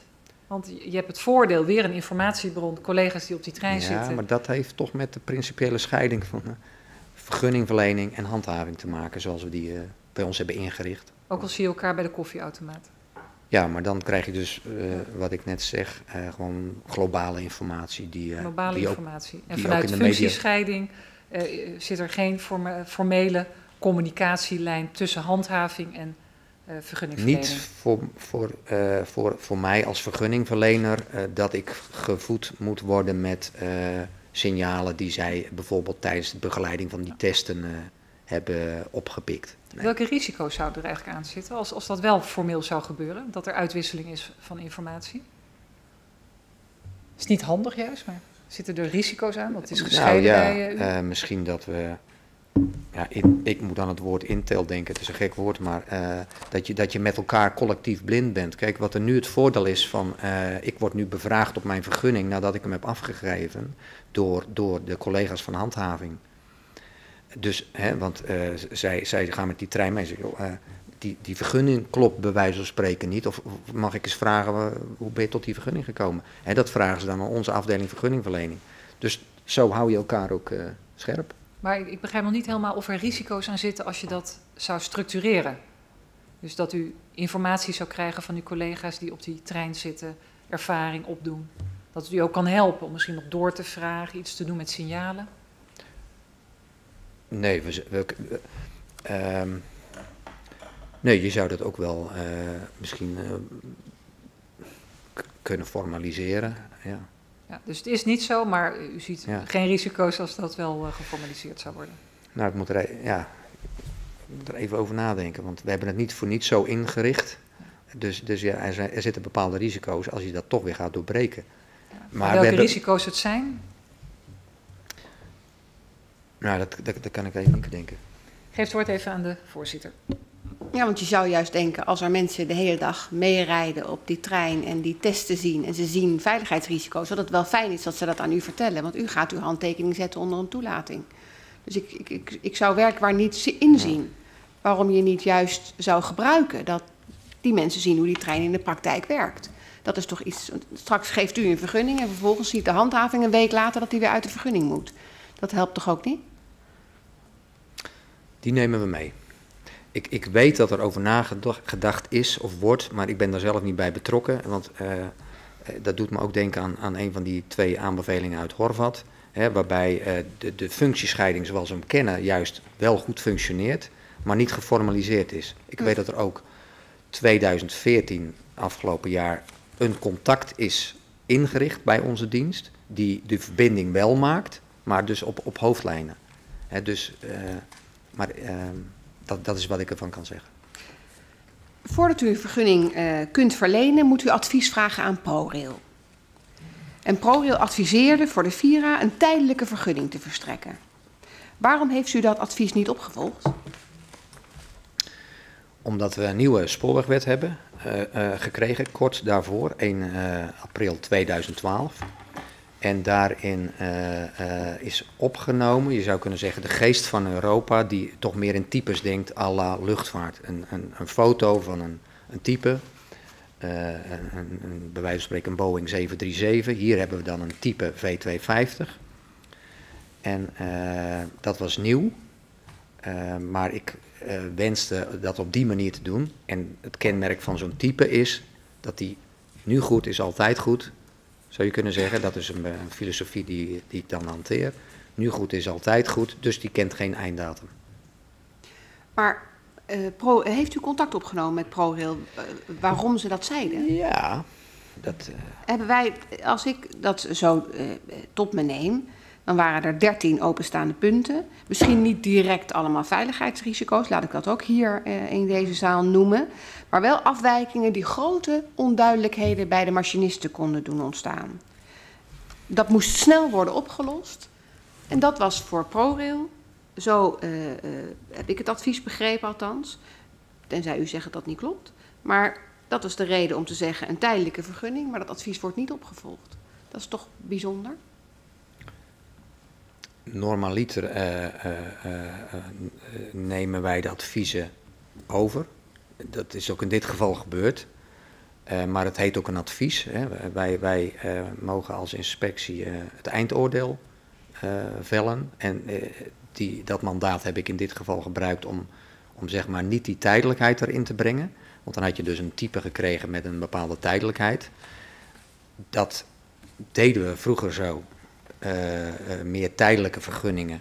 Maar dat creëert uh, administratieve lasten voor de aanvrager, want dan moet hij elke keer terugkomen bij je en, weer, en weer opnieuw betalen voor de vergunning.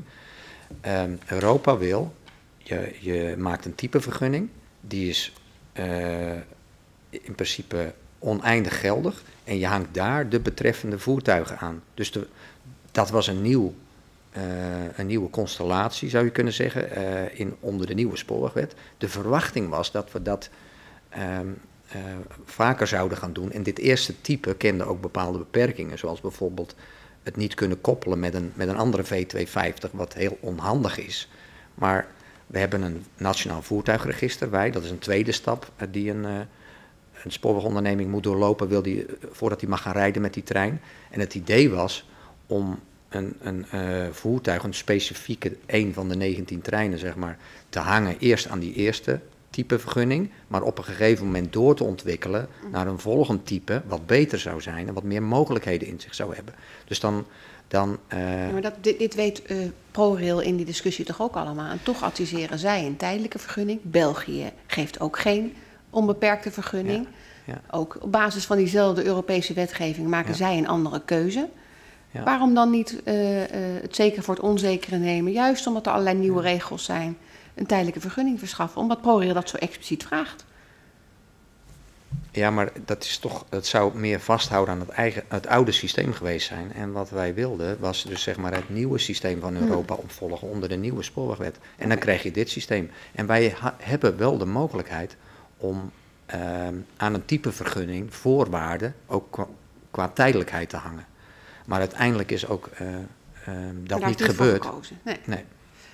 Um, Davis uh, is ook met een traject bezig van de toelating. Voor het publiek misschien goed om aan te geven dat de ILT, de inspectie in Nederland, over de toelating gaat. Maar Davis heeft ook een belangrijke rol. In België uh, wordt daar ook naar gekeken.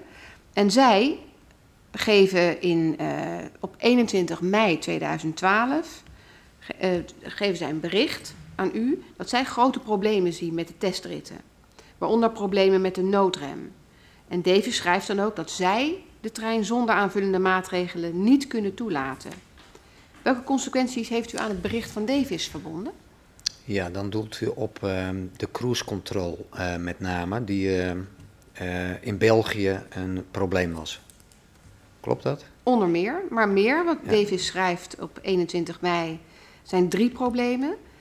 Ja. Wanneer de trein België binnenrijdt, doet het netwerk het niet. Dat is een ja. veiligheidsrisico. Er kan geen noodoproep worden gedaan. Er is problemen met het gebruik van een noodrem. Daar moet een expert bij komen. En inderdaad, wat u zegt, die cruise control werkt niet. Waardoor die soms te hard rijdt. Veiligheidsrisico, want het kan tot ontsporingen leiden. Ja. Nou, dat, heeft u gedaan dat, dat was een serieus bericht. Hè. Uh, zodra je ontsporingsrisico uh, hoort, dan, dan ben je getriggerd. Uh, wat ik daarmee heb gedaan is het bestudeerd en vastgesteld dat dat voor de Nederlandse situatie niet tot onveiligheid zou kunnen leiden. een cruise control die niet correct werkt, dus dan zou de trein hoger, sneller gaan rijden dan de ingestelde snelheid. Dat zou in Nederland niet tot een onveilige situatie kunnen leiden, omdat we op de HSL een ERTMS-systeem heeft die die snelheid bewaakt en direct ingrijpt als dat plaats zou vinden. En op het klassieke spoor hebben we daar automatische treinbeïnvloeding voor. Dus het zou ook daar niet kunnen voorkomen. Uh, dus daarmee was het geen uh, veiligheidsrisico. Mm. En die noodrem die, uh, die een probleem gaf? En, de, en de, de, over, de grensovergang. Heeft u überhaupt gereageerd naar Davis nadat zij dit bericht aan u gestuurd hadden? Nee. Helemaal nee, niet. ik had het ook via een collega gekregen, uh, maar ik heb geen rechtstreeks uh, bericht naar uh, Davis terug. dus u heeft nooit meer wat gehoord van dit, die, die, stuurt dit signaal naar de Nederlandse vergunningverlener en hoort niks meer? Ik, nee, ik heb niet, okay. niet gereageerd. Ik heb meegenomen in het lopende. Ik zou me zo kunnen voorstellen dat als twee collega-inspecteurs dit soort signalen geven, dat je dan belt. Dat je zegt van, goh, ik heb jullie signaal gehoord, ik, ik maar nee. hier en hier en hierom. Maar ik begrijp van u, nee, en dat maken wij ook op, dat er nooit enig antwoord op gekomen is. Nee, maar het was ook voor Nederland niet een veiligheidsissue, zoals ik u maar net het is toch een soort, eh, ik zou toch voor kunnen stellen dat je vanuit een soort gedeelde missie de telefoon nee. pakt. En jongens, uh, nee. ik heb jullie bericht ontvangen, maar uh, rustig, uh, focus erop. Misschien juist vanuit uw technische expertise meedenken. Maar nee, de inspectie houdt risicogestuurd toezicht. Nou hebben wij een aantal risico's met elkaar doorgenomen. In ieder geval signalen van risico's. We noemen het al. Denemarken, blogberichten, uh, ProRail, Davis. Er ergens ontstaat een beeld dat dit niet echt een risicovol project is geweest in de zin van de afhandeling van de vergunning. Herkent u dat?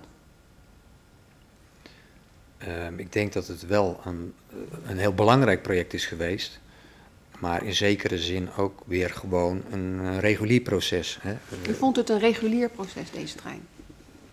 Het is wel een grote, maar we hebben uh, elke aanvraag bij, bij, bij vergunningverlening begint met een formulier wat je kunt downloaden van onze website. En dan kun je een hokje aankruisen welk product je wenst. En de ene keer is dat een, uh, een certificaat voor een spoorwegonderneming, of in dit geval een uh, vergunningverlening voor een, een, trein.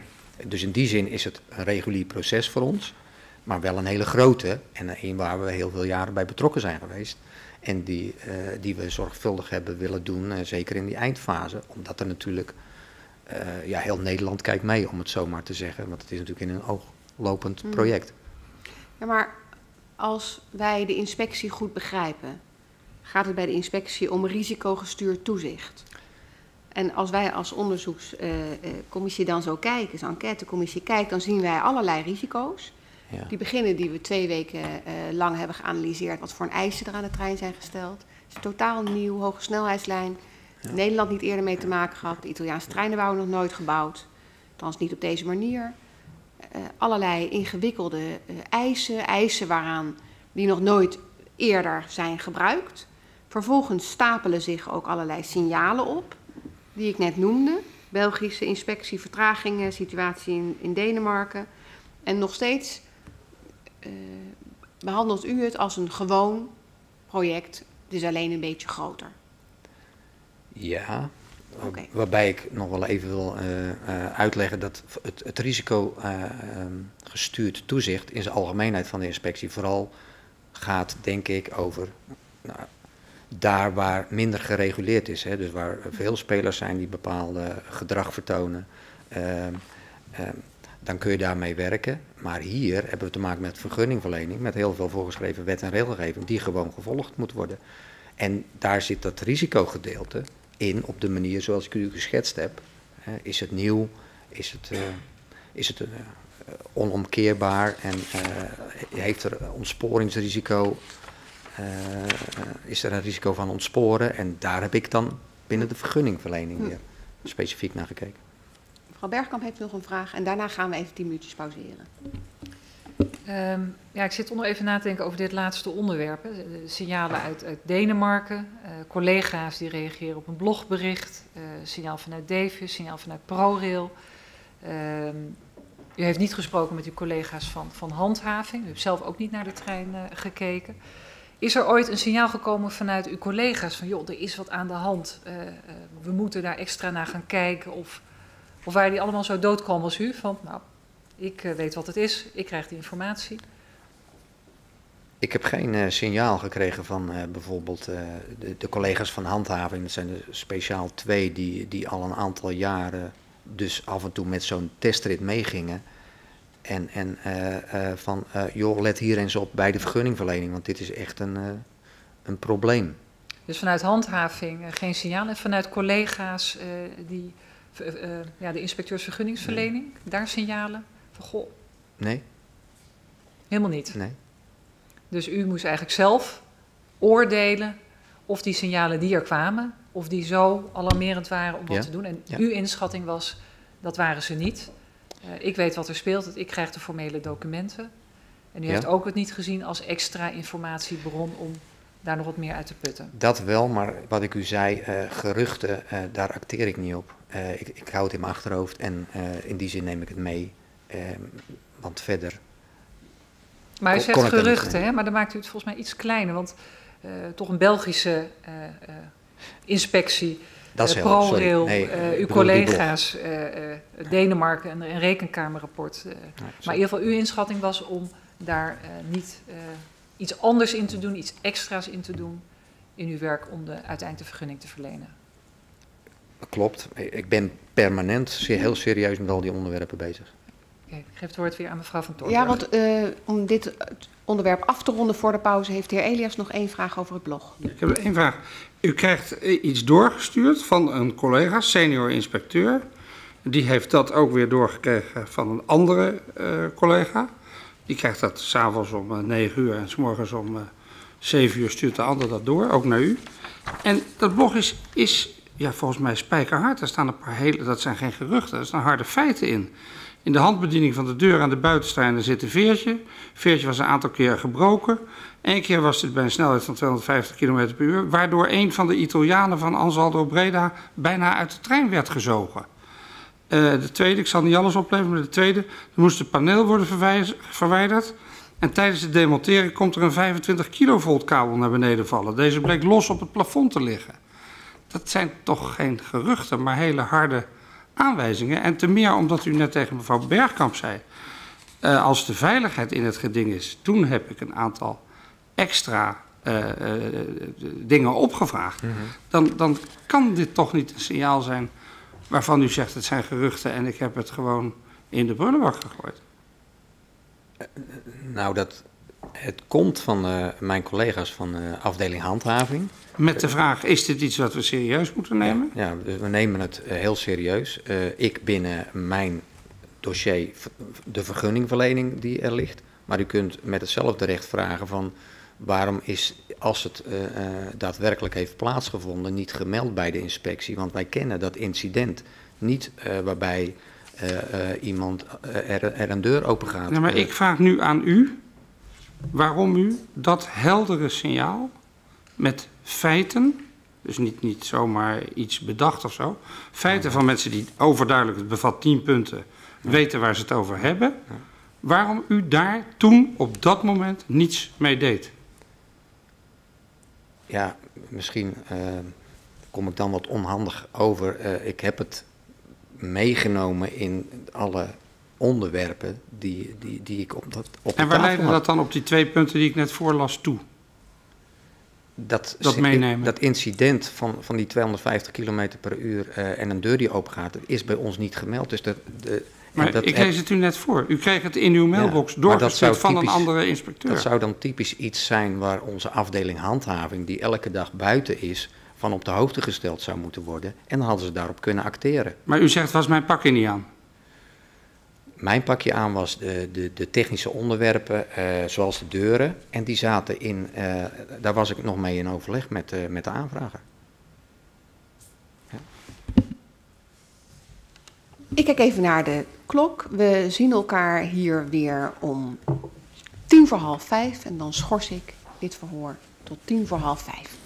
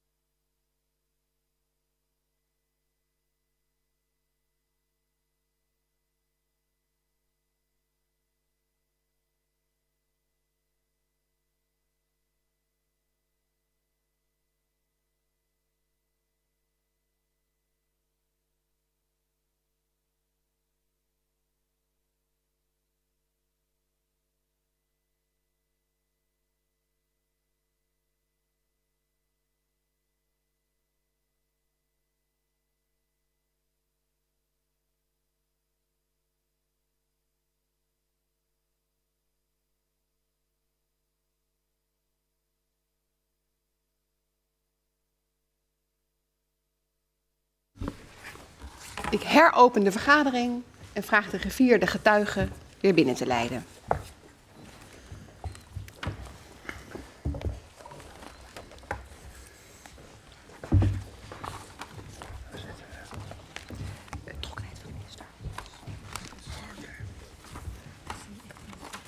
De.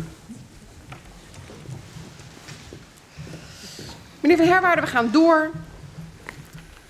En wij zijn aangekomen bij het moment waarop de minister wordt geïnformeerd over eh, de toelating van de Vira. Want op 21 mei informeert uw hoogste baas, de inspecteur-generaal, de minister in een nota dat de vergunning voor de Vira half juni wordt verleend, waarmee de trein wordt toegelaten op het spoor. Voorafgaand aan deze nota is op 11 mei die nota in conceptvorm aan u voorgelegd. U heeft daar opmerkingen op gemaakt. En die heeft u ook doorgegeven. Maar inmiddels is de nota al naar de minister toe. Voordat uw commentaar binnenkomt. En er is dus niets gebeurd met uw opmerkingen. Wat vindt u ervan dat er niet is gewacht totdat u uw opmerkingen heeft gemaakt? Voordat zo'n nota naar de minister gaat? Ik weet niet of uh, mijn reactie niet is verwerkt. Ik, ik meende aanvankelijk de, de nota niet te kennen, maar uh, inderdaad, ik vond een aantekening van mezelf dat ik 16 mei heb gereageerd naar waarschijnlijk uh, de, opsteller. Uh, en, en daarin heb ik de indicatie afgegeven dat ik verwachtte half juni klaar te zijn met de vergunning. De werkelijkheid is dat ik daar nog een aantal weken langer over gedaan heb, omdat ik tot een zorgvuldige afronding wilde komen. Maar dat was slechts een indicatie in de zijlijn van een nota die over ATB-VV ging, volgens mij. Uh, dat heeft de inspecteur-generaal uh, ook gezegd in haar verhoor. Dat de aanleiding van die nota was dat er een in afwijking van wat we hier inmiddels, uh, dat in Nederland inmiddels gebruikelijk was, niet werd voldaan aan die verbeterde versie van die rem alarmering, zal ik hem even noemen, in gewone mensentaal, dat, wat het publiek niet verliezen. Maar u had geschreven dat u verwachtte op het moment dat aan alle wettelijke eisen was voldaan, u die vergunning zou geven. Maar de, de manier waarop die nota is opgesteld, gaat toch echt uit van de vergunning wordt verleend met een datum daaraan. Ja, half, half juni. Is het niet raar dat zo'n nota wordt opgesteld terwijl u nog niet eens alle documenten heeft? Um, ja, volgens mij is wat ik, wat, ik u zei, het was een, uh, een, indica, een indicatie. Hè, wanneer ik uh, uh, dacht met die vergunning klaar, klaar te zijn. Hè, dat, ik, ik, ik denk dat die half juni van mij af is gekomen. Ehm, u zegt 21 mei, het klopt. Ik moest nog de, de EASLY Declaration, de EG-keuringsverklaring krijgen. Dus er was nog sowieso één ontbrekend document. Um, plus daarna nog de vijf documenten die ik opgevraagd heb. Um, maar het gaat ons niet zozeer om het tijdstip, maar het ja. gaat erom dat in die conceptnota nog geen datum is genoemd, dat zegt ja. u ook.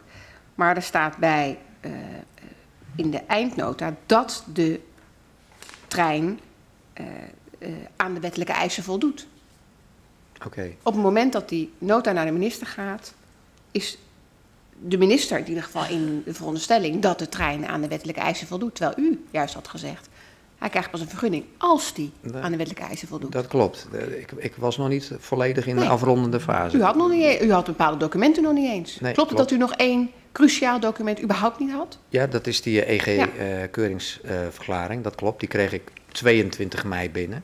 Maar goed, ik heb mijn, mijn reactie uh, 16 mei gegeven. De, de nota is 21 mei uh, uitgegaan door, door onze inspecteur-generaal. Dus dat was nog voor het moment dat hij uitging. Dus ik denk dat mijn reactie gewoon uh, verwerkt is uh, geweest. Ja, maar dan blijft het toch bijzonder dat er in de uiteindelijke nota staat... de ILT geeft de vergunning voor indienststelling van de VT50 af... omdat er voldaan wordt aan de wettelijke eisen. Ja. Terwijl in de conceptnota stond op het moment dat vaststaat... dat wordt voldaan aan de wettelijke eisen. Dan is de minister dus op de hoogte gesteld van dat het was voldaan... terwijl dat niet zo was. Uh, het klopt dat het nog uh, letterlijk ja. niet zo was. Want uh, ik was nog bezig met, met, met de afronding. Ja. Maar dat is ook, ik weet niet hoe belangrijk u het vindt, maar voor mij was dat niet zo'n heel groot probleem. Want ik werk op een manier dat gewoon die handtekening er pas kwam op het moment dat alles klaar zou worden. Ik dacht eerst dat dat half juni kon zijn, maar mijn eigen, dat was mijn eigen ambitie, eh, namelijk klaar is klaar. Ehm, als alle documenten er zouden zijn, als ik al mijn conclusies had getrokken, maar daar heb ik eh, een enkele week langer eh, voor genomen, omdat ik het heel zorgvuldig wilde doen, want ik liep er ook Mm. tegenaan dat die nieuwe spoorwegwet ook weer een nieuwe format met zich meebracht. Dus intern heb ik ook aardig wat afstemming eh, moeten verrichten op, in die laatste fase. Ik begrijp dat u zich daar helemaal niks van aantrok. Dat dat al was gezegd. Mhm. Maar bergt zo'n bericht van de inspecteur-generaal aan de minister niet een risico in zich? Dat iemand die niet ijzeren heinig gewoon zegt: ik ga stap voor stap dit netjes doen en whatever ze vinden, dit is mijn verantwoordelijkheid. Dat iemand die niet zo strak in de leer is, dat die misschien zou denken: oh jongens, eh, Ik, ik Dit- moet dit nu moet iets goedkeuren wat nog niet af Ja. is. Nee, eh, in die zin. eh, u deed het niet, maar is het niet risicovol dat het zo gaat? Zou het niet zo nooit mogen gaan? Nou, ik, ik, ehm, ik, ik weet hoe het. Misschien is het een risico, maar ik weet hoe het bij eh, onze dienst gaat hè, en hoe het bij mij is gegaan. Ik heb nooit druk ervaren vanuit een ministerie, vanuit mijn collega's van het ministerie van INM, om, om iets sneller dan de noodzakelijke tijd die, die ik daarvoor nodig zou hebben, eh, moest doen of iets goed moest keuren wat nog niet klaar was. Eh, geen druk van, eh, van hen, nog druk intern vanuit management. Besluiten komen onafhankelijk binnen de ILT tot stand. En in dit geval was ik dat als Hm. gemandateerd eh, inspecteur. Dus ehm, ja, het heeft een paar weken langer de tijd ge- gevergd. Ehm, maar het veranderde ook niets aan de buitenwereld. Eh, in, in de zin van eh, eh, de treinen die aan het testen waren. Hè, want Nee, maar natuurlijk ik, was, ik ga onderbreek u even, want ik, ik, ik vlieg het wat zakelijker aan. U zit daar een dossier te behandelen en u moet een handtekening zetten op een behoorlijk eh, ingrijpend besluit, namelijk we gaan een nieuwe hogesnelheidstrein toelaten tot ons netwerk. En er gaan straks reizigers in zitten. En u zit dat stuk te tekenen. U heeft nog niet alle stukken. En inmiddels informeert de inspecteur-generaal dat die trein wordt toegelaten. Dat is dan toch gewoon geen juiste informatie. En het is dan toch gewoon raar dat een inspecteur daardoor het risico eh, eh, zou voelen. Dat, wa- wat zou het betekenen als hij het gewoon niet deed? Als u al die signalen waar we het over hadden, eh, niet alleen in uw achterhoofd had gedaan, maar op tafel had gelegd en had gezegd: nu ga ik eerst al die signalen, al die blog helemaal uitpluizen. En dan zet ik pas mijn handtekening. Dat het misschien wel vier maanden later was geweest. Sterker nog, misschien wel niet. ja, maar inmiddels in, was in de die, in die zin is het een- risico, maar eh, ik heb inmiddels de minister ook eh, hier aan tafel zien zitten. Voor haar was ook duidelijk dat het onderwerp van de nota over. APBVV ging. Eh, de, de, de, zeg maar de voetnoot over eh, de vergunningverlening van de V- V250 en wat daar letterlijk staat dat die half juni daar zou zijn, dat ze die niet heeft geïnterpreteerd als eh, dan is het een feit, maar meer eh, informatie. Hm. Nice to know, want, Nice to know. want bij de ILT worden de, de besluiten echt genomen en onder de condities van volledige autonomie. Maar wist u dat inmiddels ehm, de treinpaden zo waren ingericht dat eh, de Benelux-trein niet meer zou rijden op het moment dat de Vira zou zijn toegelaten? En dat als dat niet zou zijn gebeurd, de Vira-toelating, dat er dan helemaal geen eh, eh, goede verbinding zou zijn tussen Amsterdam en Brussel? Ik had dat niet zo heel goed op mijn netvlies op dat moment. De, zeg maar de, in, in de grote echte wereld, hoe, hoe de planning was van materieeltypes en series die waar precies zouden gaan rijden. Dat was voor mijn werk ook niet zo belangrijk. Ik moest natuurlijk gewoon die, tot die vergunning komen en dat was mijn taak. Maar het belang dat van de 100% goed te Vira was niet bij u eh, in, in een afweging betrokken. Ik wist dat hij in december moest gaan rijden. nou, maar dat of is dat nogal dan- wat. U wist dat hij in Ja, december maar, moest gaan maar rijden. wat ik probeer te zeggen is, eh, eh, de vergunning maakt dan niet zoveel uit of die half juni komt of half Ja, juli. maar misschien wel niet.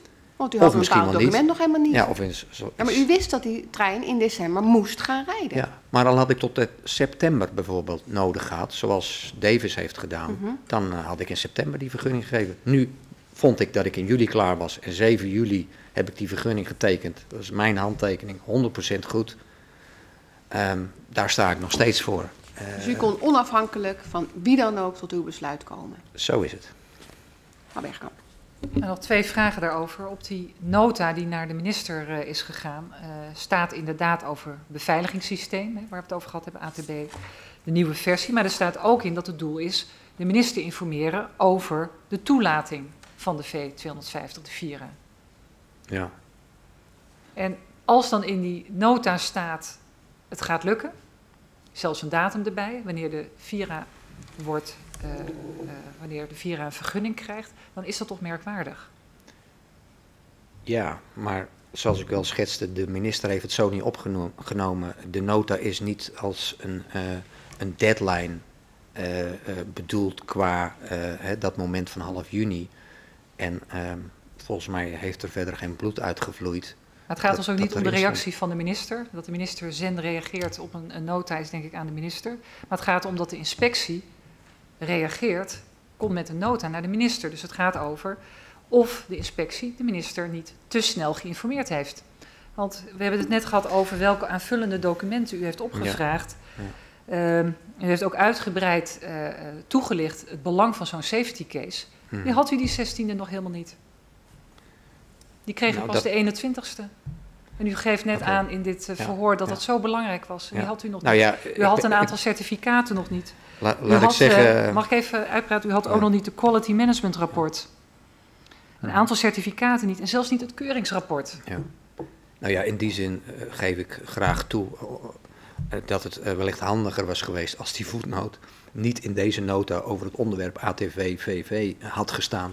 En als de minister geïnformeerd moest worden over de voortgang van de V250, dat het beter was geweest om dat met een separate nota, met wat misschien meer zorgvuldigheid te doen. Maar Maar hoe kon u zelf weten als inspecteur dat die trein dan en dan zou worden toegelaten als u een aantal essentiële stukken nog ontbreken? Die safety case waarvan u zegt, nou dat is belangrijk, daar moet ik goed naar kijken. Die kwam pas de 21ste. Ja, o- dan dan gaat u ervan uit. Ik heb de 16 mei eh, de, de indicatie afgegeven van Staat hal- geen- half juni. Ja, dus, dus half juni is nu in de nota gekomen. Is ook in de nota terechtgekomen? Ja, precies. Dus dan, dan heb je. Ik, ik wist dat al die documenten op een haar na klaar waren. Dus daarom heb ik het blijkbaar aangedurfd, achteraf kijkende, om te zeggen. Ik denk dat ik half juni met die vergunning klaar ben. U had ze alleen nog niet beoordeeld, want u had ze toen nog niet. U ging een aantal. uit dat de documenten ja, dat klopt. Maar ik, ik, omdat juist eh, er permanente voeling was met, met dat project, weet je wa- wa- wanneer de documenten komen. En de meeste waren er. En dan zou ik tot een afronding gekomen zijn. Ja, voorzitter eh, is het. Ja, want even, er is toch wel één ding wat we uit de wereld moeten helpen. Dit is geen voetnoot hoor. Dit is een koptekst. Te informeren over de toelating. Die worden ingezet. Dus het is niet zo dat het een, een, een, een onderschriftje is van... oh, by the way, we gaan de trein toelaten. Dat is, een, eh, dat is ongeveer dat is de, de, de koptekst van de nota. Het gaat over de toelating van de trein. Even voor de goede orde, dat het niet... er ook nog eventjes bij stond, by the way, hij wordt toegelaten. Dat is gewoon de kern van Maar de bericht. het onderwerp is ATBVV. Het- Het onderwerp is de toelating van de V250. Zo staat het bij betreft en dat is de eerste zin. Oké. Dan komen we op 9 december 2012. Dan eh, gaat eh, de dienst van start Amsterdam-Brussel. Ehm, en al snel blijkt dat er betrouwbaarheidsproblemen zijn. Is betrouwbaarheid nou onderdeel van het certificerings- en het toelatingsproces? Of kijkt u alleen naar veiligheid? Beide zijn onderdeel van, eh, van het toelatingsproces, want beide, zowel veiligheid als betrouwbaarheid, zijn versleuteld in de TSI's. Maar u bent met, eh, denk ik, eh, het mij eens dat als je kijkt naar de TSI's, de technische specificaties interoperabiliteit, Mhm. de eisen die gesteld worden vanuit Europa aan de terreinen, eh, dat de nadruk ligt op veiligheid en dat betrouwbaarheid maar eigenlijk een klein onderdeel is. Ja, klopt. Het gaat niet zozeer om de betrouwbaarheid van eh, de treinen zelf. Klopt. En, en, en eh, daarmee deel ik ook de conclusie van Horvat, die zegt voor, voor wat betreft het onderwerp veiligheid is er in de TSI, dus in, de, in het stelsel van wet en regelgeving, meer gedefinieerd dan voor het onderwerp betrouwbaarheid, want daar is minder voor gedefinieerd. Ja. Uh, vindt u dat er meer aandacht zou moeten komen in het proces van certificeren en toelaten uh, als het gaat over betrouwbaarheid? Dus dat dat een groter onderdeel mag zijn? Nou, ik, dan ben ik het eigenlijk ook weer met uh, wat eens. Wat er voor is gespecificeerd, uh, gespecificeerd hè, voor, voor veiligheid en betrouwbaarheid in de bestaande wet en regelgeving, dat is voldoende. Het, het definieert, hè, zoals geschetst, het, het, minimum waar we als landen, wanneer treinen naar ons toe komen over de grens, uh, met elkaar vanuit willen, wensen te gaan. En, en verder heb je over betrouwbaarheid uh, na ik onderbreek u even van, u zegt van de operationele keten. Ja, dus u zegt betrouwbaarheid hoeft wat u betreft niet een groter onderdeel te worden in het proces van certificeren en toelaten. Klopt. Um, de Vira kwam vaak uh, tot stilstand door noodremmingen. En, en dat betekent dat de trein wordt stilgezet door de noodrem. Dat heeft veel invloed op de betrouwbaarheid van de treindienst, maar kan dat ook invloed hebben op de veiligheid? als zo'n trein vaak tot stilstand komt? Als een trein met een noodremming tot stilstand komt, dan is dat een, een, een ingreep in een, in een ongewenste situatie. Dus dat is goed. Gebeurt het heel vaak uh, en je krijgt, uh, ja, dan, dan, dan krijg je wel vaak een ongewenste situatie op, op het spoor, waardoor treinen vertraagd raken. En maar heeft, ehm, dat is iets wat, waarvan we zeggen van nou, het leidt tot uh, een situatie van uh, onbetrouwbaarheid. Maar heeft, is als een trein vaak stilstaat, heeft dat dan ook impact, gevolgen voor de veiligheid? Misschien doelt u op die opmerking van Davis, die op een gegeven moment over die stilstaande trein opmerkte dat die een stilstaande trein onveilig is. Waar, waar, het daarom gaat is, en dat speelde ook in Nederland als, als na de uitdienstname, als een trein gewoon lang stilstaat, er zitten, eh, dan komt mijn achtergrond weer eh, om de hoek, eh, lagers in zo'n trein, waar, waar, waarbij het goed is dat die af en toe gedraaid worden, in plaats van dat ze stilstaan, want dan is de kans op corrosie groter. Maar ook wat, hè, u refereert aan een overleg met de inspectie op 7 juni 2013. Uh, waarin uh, de Belgische inspectie eigenlijk aangeeft dat een stil, vaak stilstaande trein ook een potentieel gevaar ja. kan zijn, omdat uh, passagiers proberen de trein te verlaten. Mensen, personeel kan onder druk worden gezet dat die trein snel zeg maar, weer moet, moet gaan rijden. Bent u het eens met die uitspraak? Dat het ook kan leiden, een, een trein die vaak stilstaat, tot veiligheidsproblemen? Ja, een trein die vaak stilstaat, dat is... kijk, dan moet je inderdaad wel goed zorgen dat ze de deuren niet kunnen openen. Want dat, dat noemt u. Ehm, maar verder uh, kun je dat omkleden met gewoon operationele procedures, zoals een spoorwegonderneming die gewend is te nemen met een, met een veiligheidszorgsysteem. Um, uh, en dan kunnen zeg maar, ongewenste situaties ook gewoon nog omkleed worden met maatregelen, zodat er geen onveiligheid optreedt. Maar is er zo'n strikte scheiding tussen veiligheid en, en, betrouwbaarheid? Want je hebt zeg maar het falen aan de veilige kant, hè, wat we dan noemen, dat die treinen dus zeg maar uh, vaak niet rijden als er een probleem zit, de veiligheid, dan staan ze stil en daardoor is de trein veilig. Mm -hmm. uh, maar als dat vaak gebeurt, kan je natuurlijk situaties krijgen dat het personeel zich onder druk voelt, uh, dat mensen die trein uit willen. Dus je kan misschien wel allerlei maatregelen eromheen doen. Maar is het nou zo'n zwart-wit geheel, betrouwbaarheid en veiligheid? Of zit er gewoon ook een dik grijs stuk tussen? Dat denk ik, dat laatste ben ik wel met u eens. Hè. in zijn algemeenheid, ik, zoals ik u schets, ik ben ook heel ik heb heel wat onderzoeken gedaan en een degraded mode, zoals dat heet, hè, dus een, een, een niet op, optimaal uh, operationeel zijn van alle treinen, geeft per definitie, maar, maar dat zit niet alleen aan de kant van de trein, maar ook aan de kant van de treindienstleider, uh, wat meer risico's, om, omdat bijvoorbeeld een treindienstleider wat meer uh, um, procedures moet gaan ja. doen die hij niet gewend is. Dus u bent met mij eens dat het gebied het verschil tussen veiligheid en betrouwbaarheid, dat er ook een dik grijs stuk tussen zit. Toch zegt u net dat betrouwbaarheid niet een grotere rol moet gaan spelen in het hele certificering- en toelatingsproces. Hoewel in het eindrapport van de ILT, gedateerd 19 mei 2015, vers van de pers, staat eigenlijk, hier geeft de ILT ook uh, aan dat uitval, onbetrouwbaarheid ook kan leiden tot veiligheidsissues. Dat staat een beetje haaks op wat u net zei. Nou, maar het sluit heel goed aan bij mijn laatste opmerking, dat degraded mode, ehm, als dat te vaak voorkomt, hè, dus het niet... Wat, misschien moeten we het niet te technisch Sorry, maken. eh, ja, maar dat is gewoon een operationele term. Ehm, dus gewoon eh, die V250, hè, die is beoogt om gewoon eh, goed, goed eh, te rijden. En u zegt, eh, hè, met een noodremming komt die vaak tot stilstand. En ja, dan, eh, dan moet je weer opnieuw beginnen. Dat is een verstoorde treindienst. Ja. Degraded mode, dat is hetzelfde. Ehm, dat is ongewenst, ja, als je dat vaak hebt. Want dan komen alle algemene systemen in second best mode. Ja. Sorry, ook weer moeilijk. Nou ja, u Eh, gaf net aan, laten we het even wat, wat simpeler houden. Net op mijn vraag of betrouwbaarheid een uitgebreidere rol moet spelen in het uh, certificering- en toelatingsproces, zei u eigenlijk nee. Uh, maar het is in ieder geval zo dat de inspectie zelf als organisatie gezegd heeft, nou, uh, we moeten daar in ieder geval meer uh, aan doen, want ook betrouwbaarheid kan leiden tot veiligheidsissues. Ja, maar misschien moet ik dan even wat specifieker zijn. Uh, mijn deel is natuurlijk niet het operationele deel waar we het net over hadden, maar het vergunningsverleningstraject.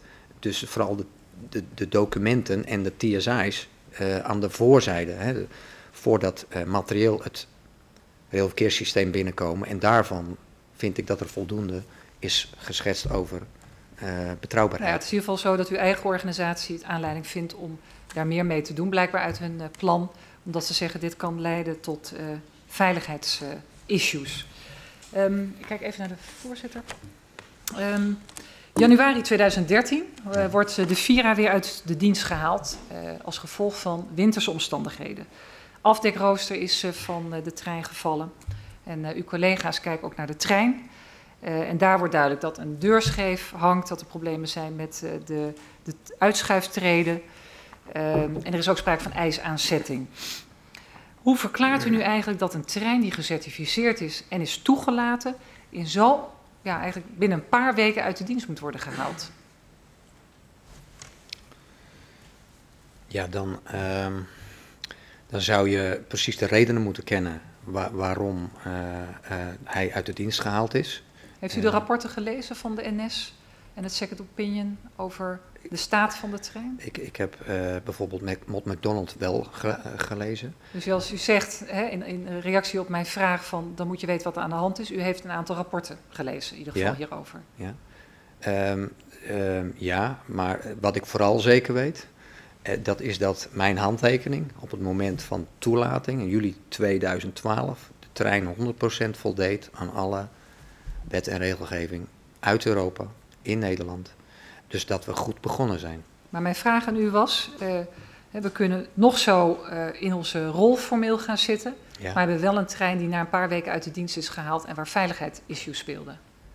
Dus mijn vraag aan u is, wat is uw verklaring nou voor een trein die gecertificeerd is, ja. is toegelaten, dat die binnen een paar weken veiligheidsissues, zelfs een deur die scheef hangt en ja. ijsafzetting, ja.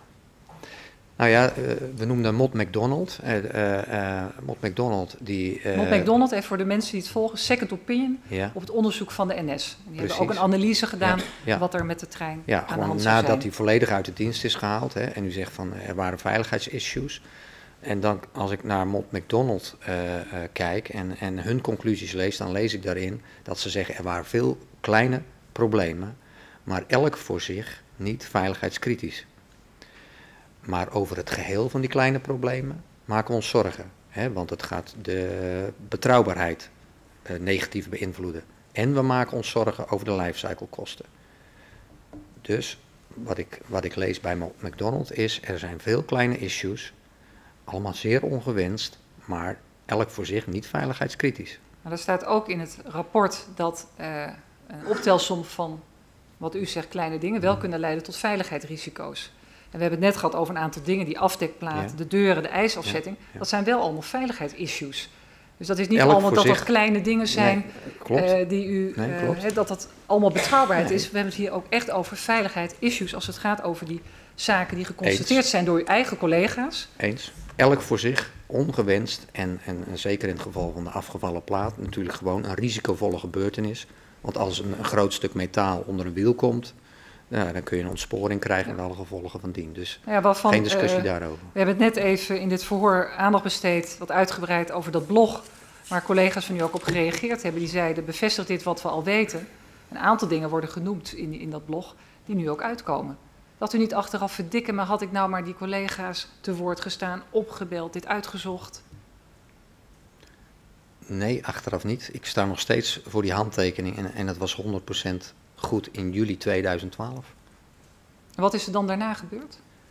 Is het daarna Nou, helemaal ik- misgegaan? Wat we met elkaar schetsen eh, ehm, en wat McDonald concludeert, er zijn heel veel kleine probleempjes geweest, inclusief een groot probleem, een afgevallen plaat.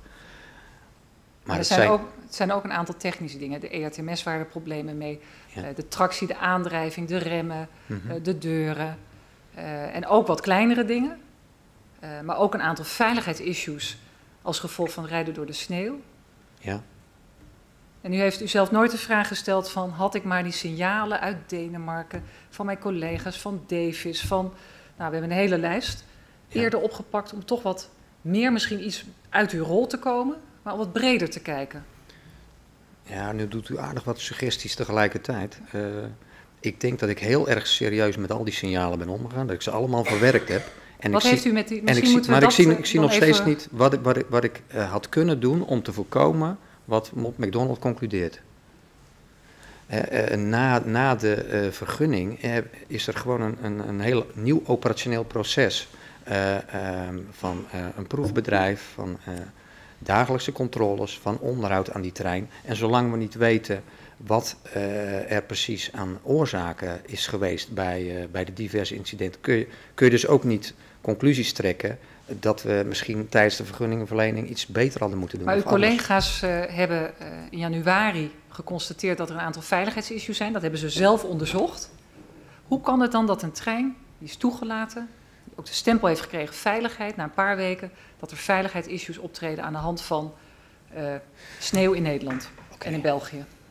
Ehm, het kan altijd zo zijn dat er ongewenste situaties optreden met materieel wat in Nederland rondrijdt. Dat gebeurt regelmatig ook met treinen die al 20 of 30 jaar rondrijden. Zelfs daar hebben we nog wel eens een veiligheidsstoring Maar u heeft zelf net gezegd, u, bent een, een, een, eh, u veel ervaring, u loopt al eh, langer mee.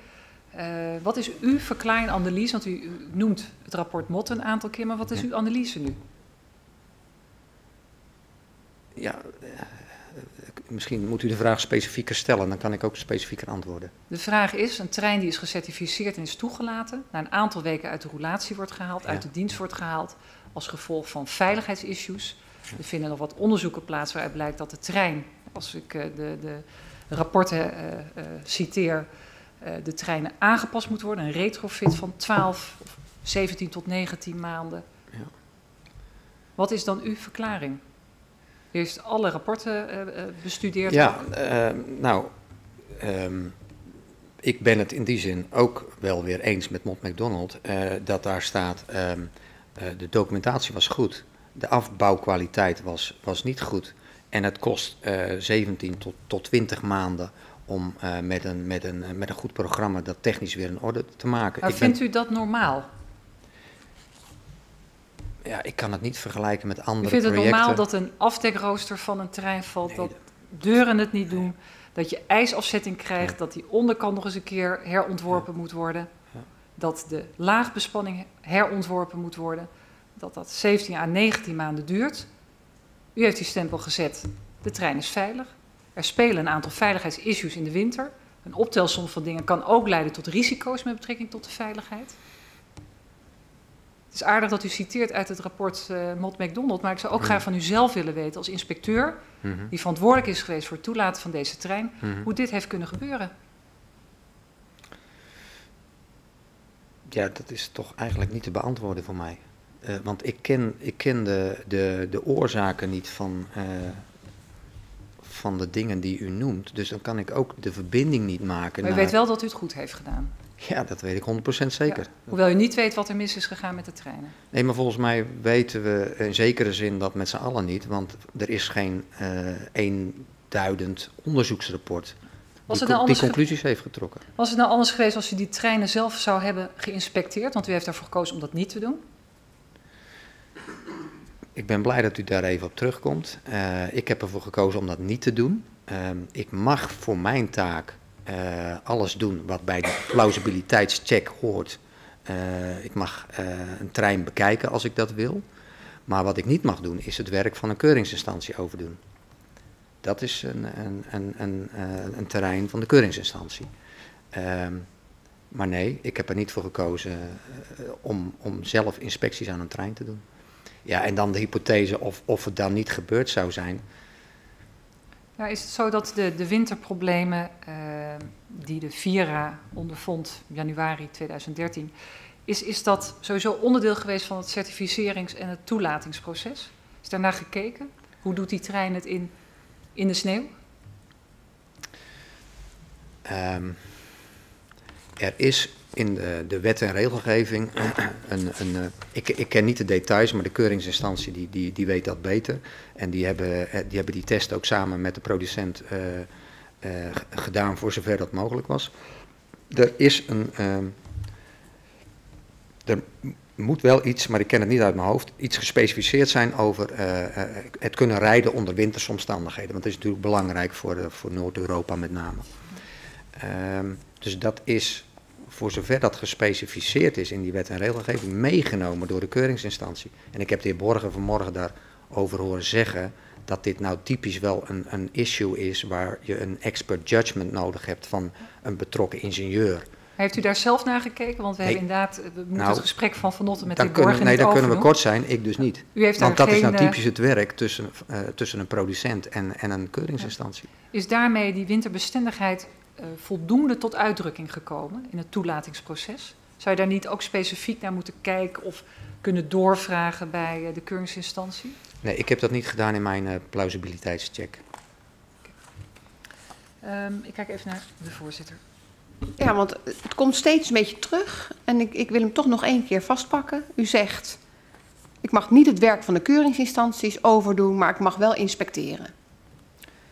Leg dat dan toch één keer nog uit. Ehm, Wat mag u nou wel en wat mag u nou niet? Ik, eh, ik heb eh, een breed mandaat en wij als inspectiedienst om, om dat te doen wat, wat we nodig hebben om de toets te kunnen doen aan wet en regelgeving. Ehm, bij de handhaving is dat soms wat duidelijker, maar ook bij vergunningverlening eh, heb ik dat idee van ik mag alles wat bij mijn taak past. Dus als ik naar een trein wil, dan mag ik dat. Als ik onder een trein wil kijken om iets te checken, dan mag ik dat. Maar ik moet er een goede reden voor hebben. Bij mijn taak hoort niet een individuele trein controleren, want daar ben ik niet voor besteld. Dat is nou typisch iets wat anderen doen voor mij in de keten. Mijn taak is dus die, die, die plausibiliteitscheck te doen en eh, zo u wilt een steekproef op dat soort dingen. Dus dan heb ik niet nodig om onder zo'n trein te kijken. En bij de V250 heb ik dat ook niet nodig gehad. Nee, maar dan ga ik het even proberen duidelijk te maken. Dus de keuringsinstantie die certificeert een prototype. De fabrikant zegt, wij bouwen alle treinen zoals dat prototype eruit ziet. De keuringsinstantie eh, signaleert niet dat dat niet zo is. Met andere woorden, er gaan dingen mis. Wie komt daar nou nog achter? Dan wordt dus het prototype gecertificeerd. Er worden treinen gebouwd die daar niet aan voldoen. U kijkt ook niet naar de treinen. En die end of the day kijkt dus niemand naar die treinen. Omdat we ervan uitgaan dat die keuringsinstantie ja, wel terecht een certificaat heeft gegeven dat alle treinen hetzelfde zijn. Wie ziet dat dan nou? Het lijkt wel alsof alles doorrolt. Straks rollen we door met reizigers. Maar wie ziet nou dat die treinen misschien niet voldoen? Nou ja, de, de, de, ehm, de belangrijkste dingen hebben we met z'n allen wel gezien. Eh, dus die dingen die ge- gespecificeerd zijn in, de, in, de, in de, de wetgeving, die zijn gecheckt door de notified body Die zijn gedaan. gecheckt omdat het ontwerp gecertificeerd is. Daarnaast is door de keuringsinstantie gezegd, gecertificeerd, dat alle treinen zouden worden gebouwd conform het ontwerp. We hebben verschillende mensen langs gehad die aangeven dat in de uitvoering van het kwaliteitssysteem het schortte. Het werd niet zo gebouwd als het prototype. Er zaten verschillen in, daar waren problemen tussen. De keuringsinstantie ziet dat niet. We hebben audits gedaan, hebben dat niet gezien. U kijkt ook niet naar die trein, dus u ziet het ook niet. Dan ziet toch helemaal niemand het? Nou, voor een deel is dat misschien wel zo. Dat, dat eh, ehm, van eh, alles wat de, de producent produceert, die producent de enige is die, eh, die het ziet.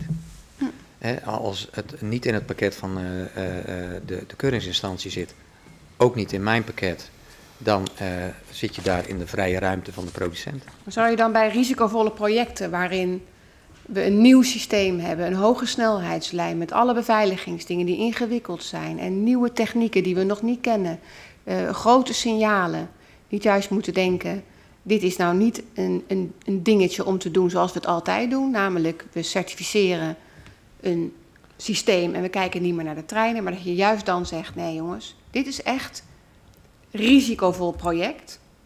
Laten wij hier per trein kijken of die echt wel is gebouwd zoals we dat prototype hebben gecertificeerd. Die eerste trein. Ja, dan kom je toch bij eh, de keuze van eh, de modules uit. eh, En dit doet de leverancier, de precies. fabriek zelf. Precies. Hè? En, en die, die geeft opdracht, al of niet onder invloed van de koper die bepaalde wensen heeft. Want ook die koper die bepaalt natuurlijk het modulepakket mee als, als je daar afspraken over maakt. En dan kun je kiezen tussen zeg maar, wat ik heb geconstateerd, het modulepakket eh leidt, wat bij de V250 eh, van toepassing is. En niet voor eh, een wat zwaarder modulepakket, waarbij je elke trein aan het eind ook nog eens een keer eh, toetst. Ja. Maar beide zijn 100% conform de wetgeving. Dus daarom heb ik ook Ja, maar als er iets dus niet is gezien, dan dendert dat door tot die trein in januari Ja. gierend tot stilstand komt. Dat is dan wat we met elkaar in een systeem lijken.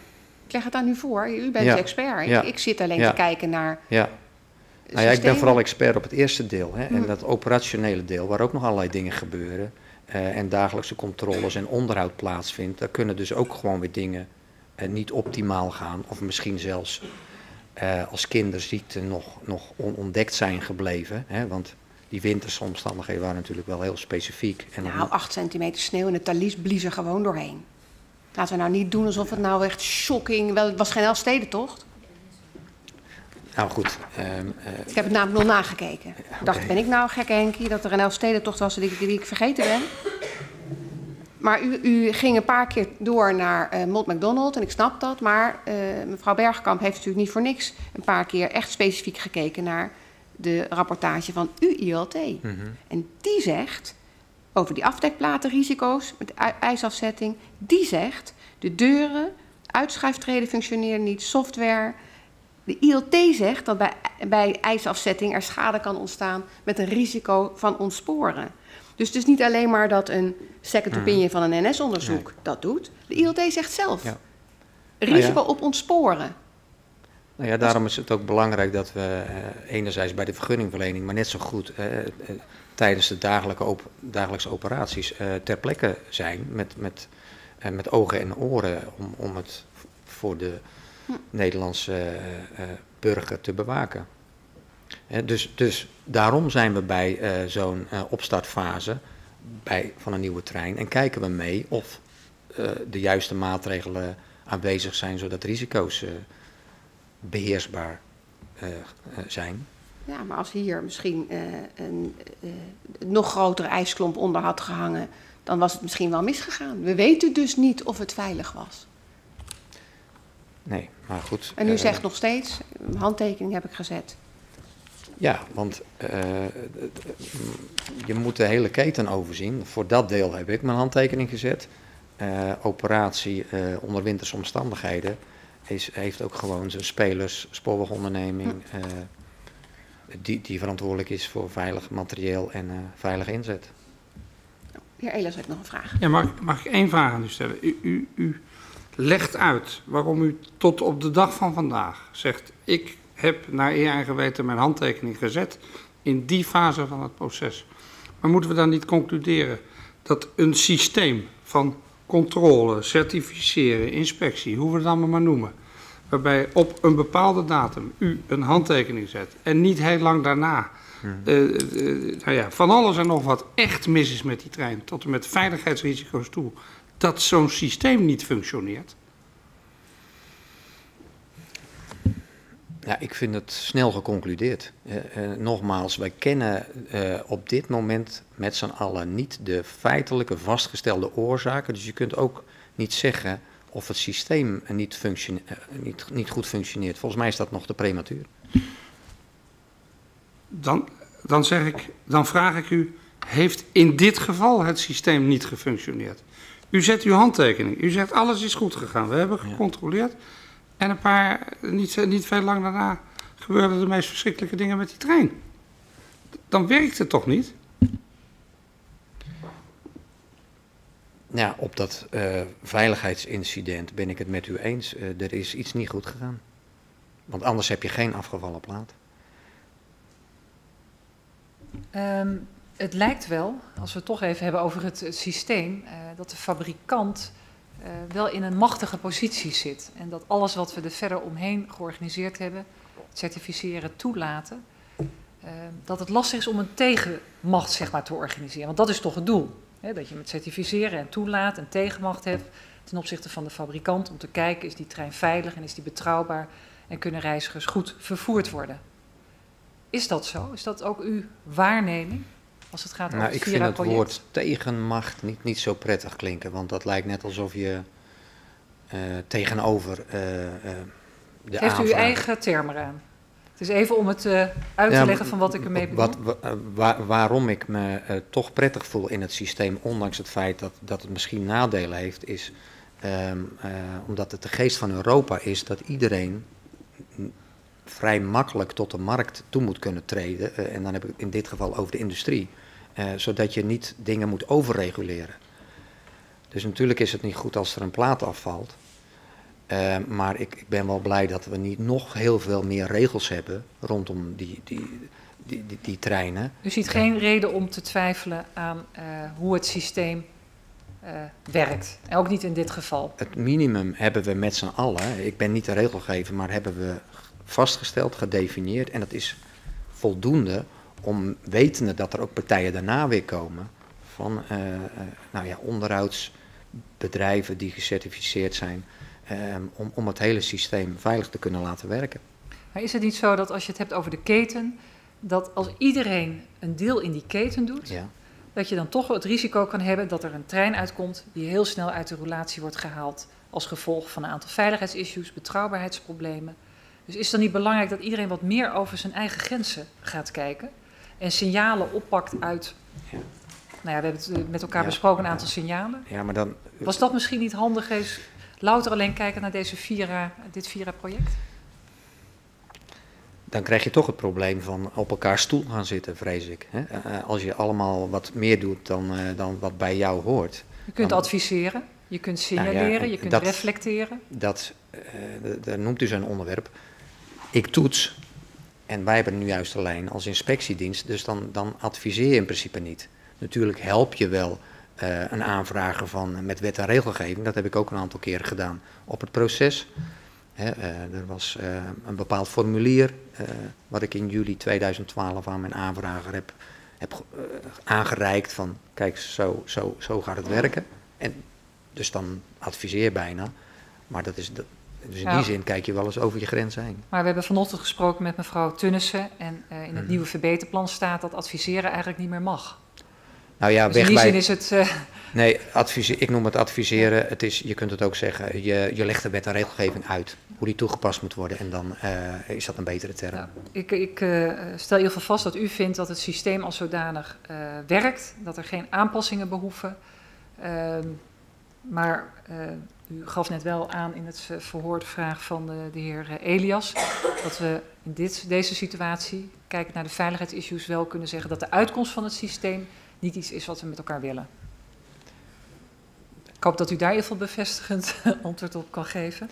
Nou ja, als u met de uitkomst van het systeem een afgevallen plaat bedoelt, dan ben ik het met u eens. Dat is ongewenst. Ja. Maar het is Maar niet ik- alleen, eh, even voor het beeld, het is natuurlijk niet alleen een afgevallen plaat. Het waren betrouwbaarheidsproblemen, problemen met de ijsaanzetting, problemen ook met de remmen, het E ERTMS. En er zijn nog meer dingen zeg maar, eh, vastgesteld, voordat we het alleen maar hebben over eh, het afdekrooster. Nou ja, ik weet niet of ik het met u eens ben op het gebied van E ERTMS. Daar presteerde de trein eigenlijk best wel goed. Nou, er waren wel betrouwbaarheidsproblemen toen de trein van start ging. Ik verplaats me altijd bij dit soort dingen in, in, in de reiziger, Mhm. eh, die toch, toen de trein van start ging, toch te maken had met veel betrouwbaarheidsproblemen in die periode. Nou ja, daarna kwam eh, de Ja, sneeuwperiode en toen waren een aantal veiligheidsissues. Dus dat, eh, Dat was delen niet. ik wil even met u eh, naar ehm, de, de productiekwaliteit. Eh, u refereerde een paar keer naar Mott McDonald en ook dat is de second opinion op het onderzoek van de NS. En wat beide rapporten eigenlijk aangeven is dat de afwerkkwaliteit op meerdere plaatsen onder de maat was, dat de treinen van elkaar verschilden ehm, en dat er dus twijfel zijn over die productiekwaliteit. Toch is er een certificaat afgegeven door de keuringsinstantie. U heeft de rapporten gelezen, vindt u dat terecht?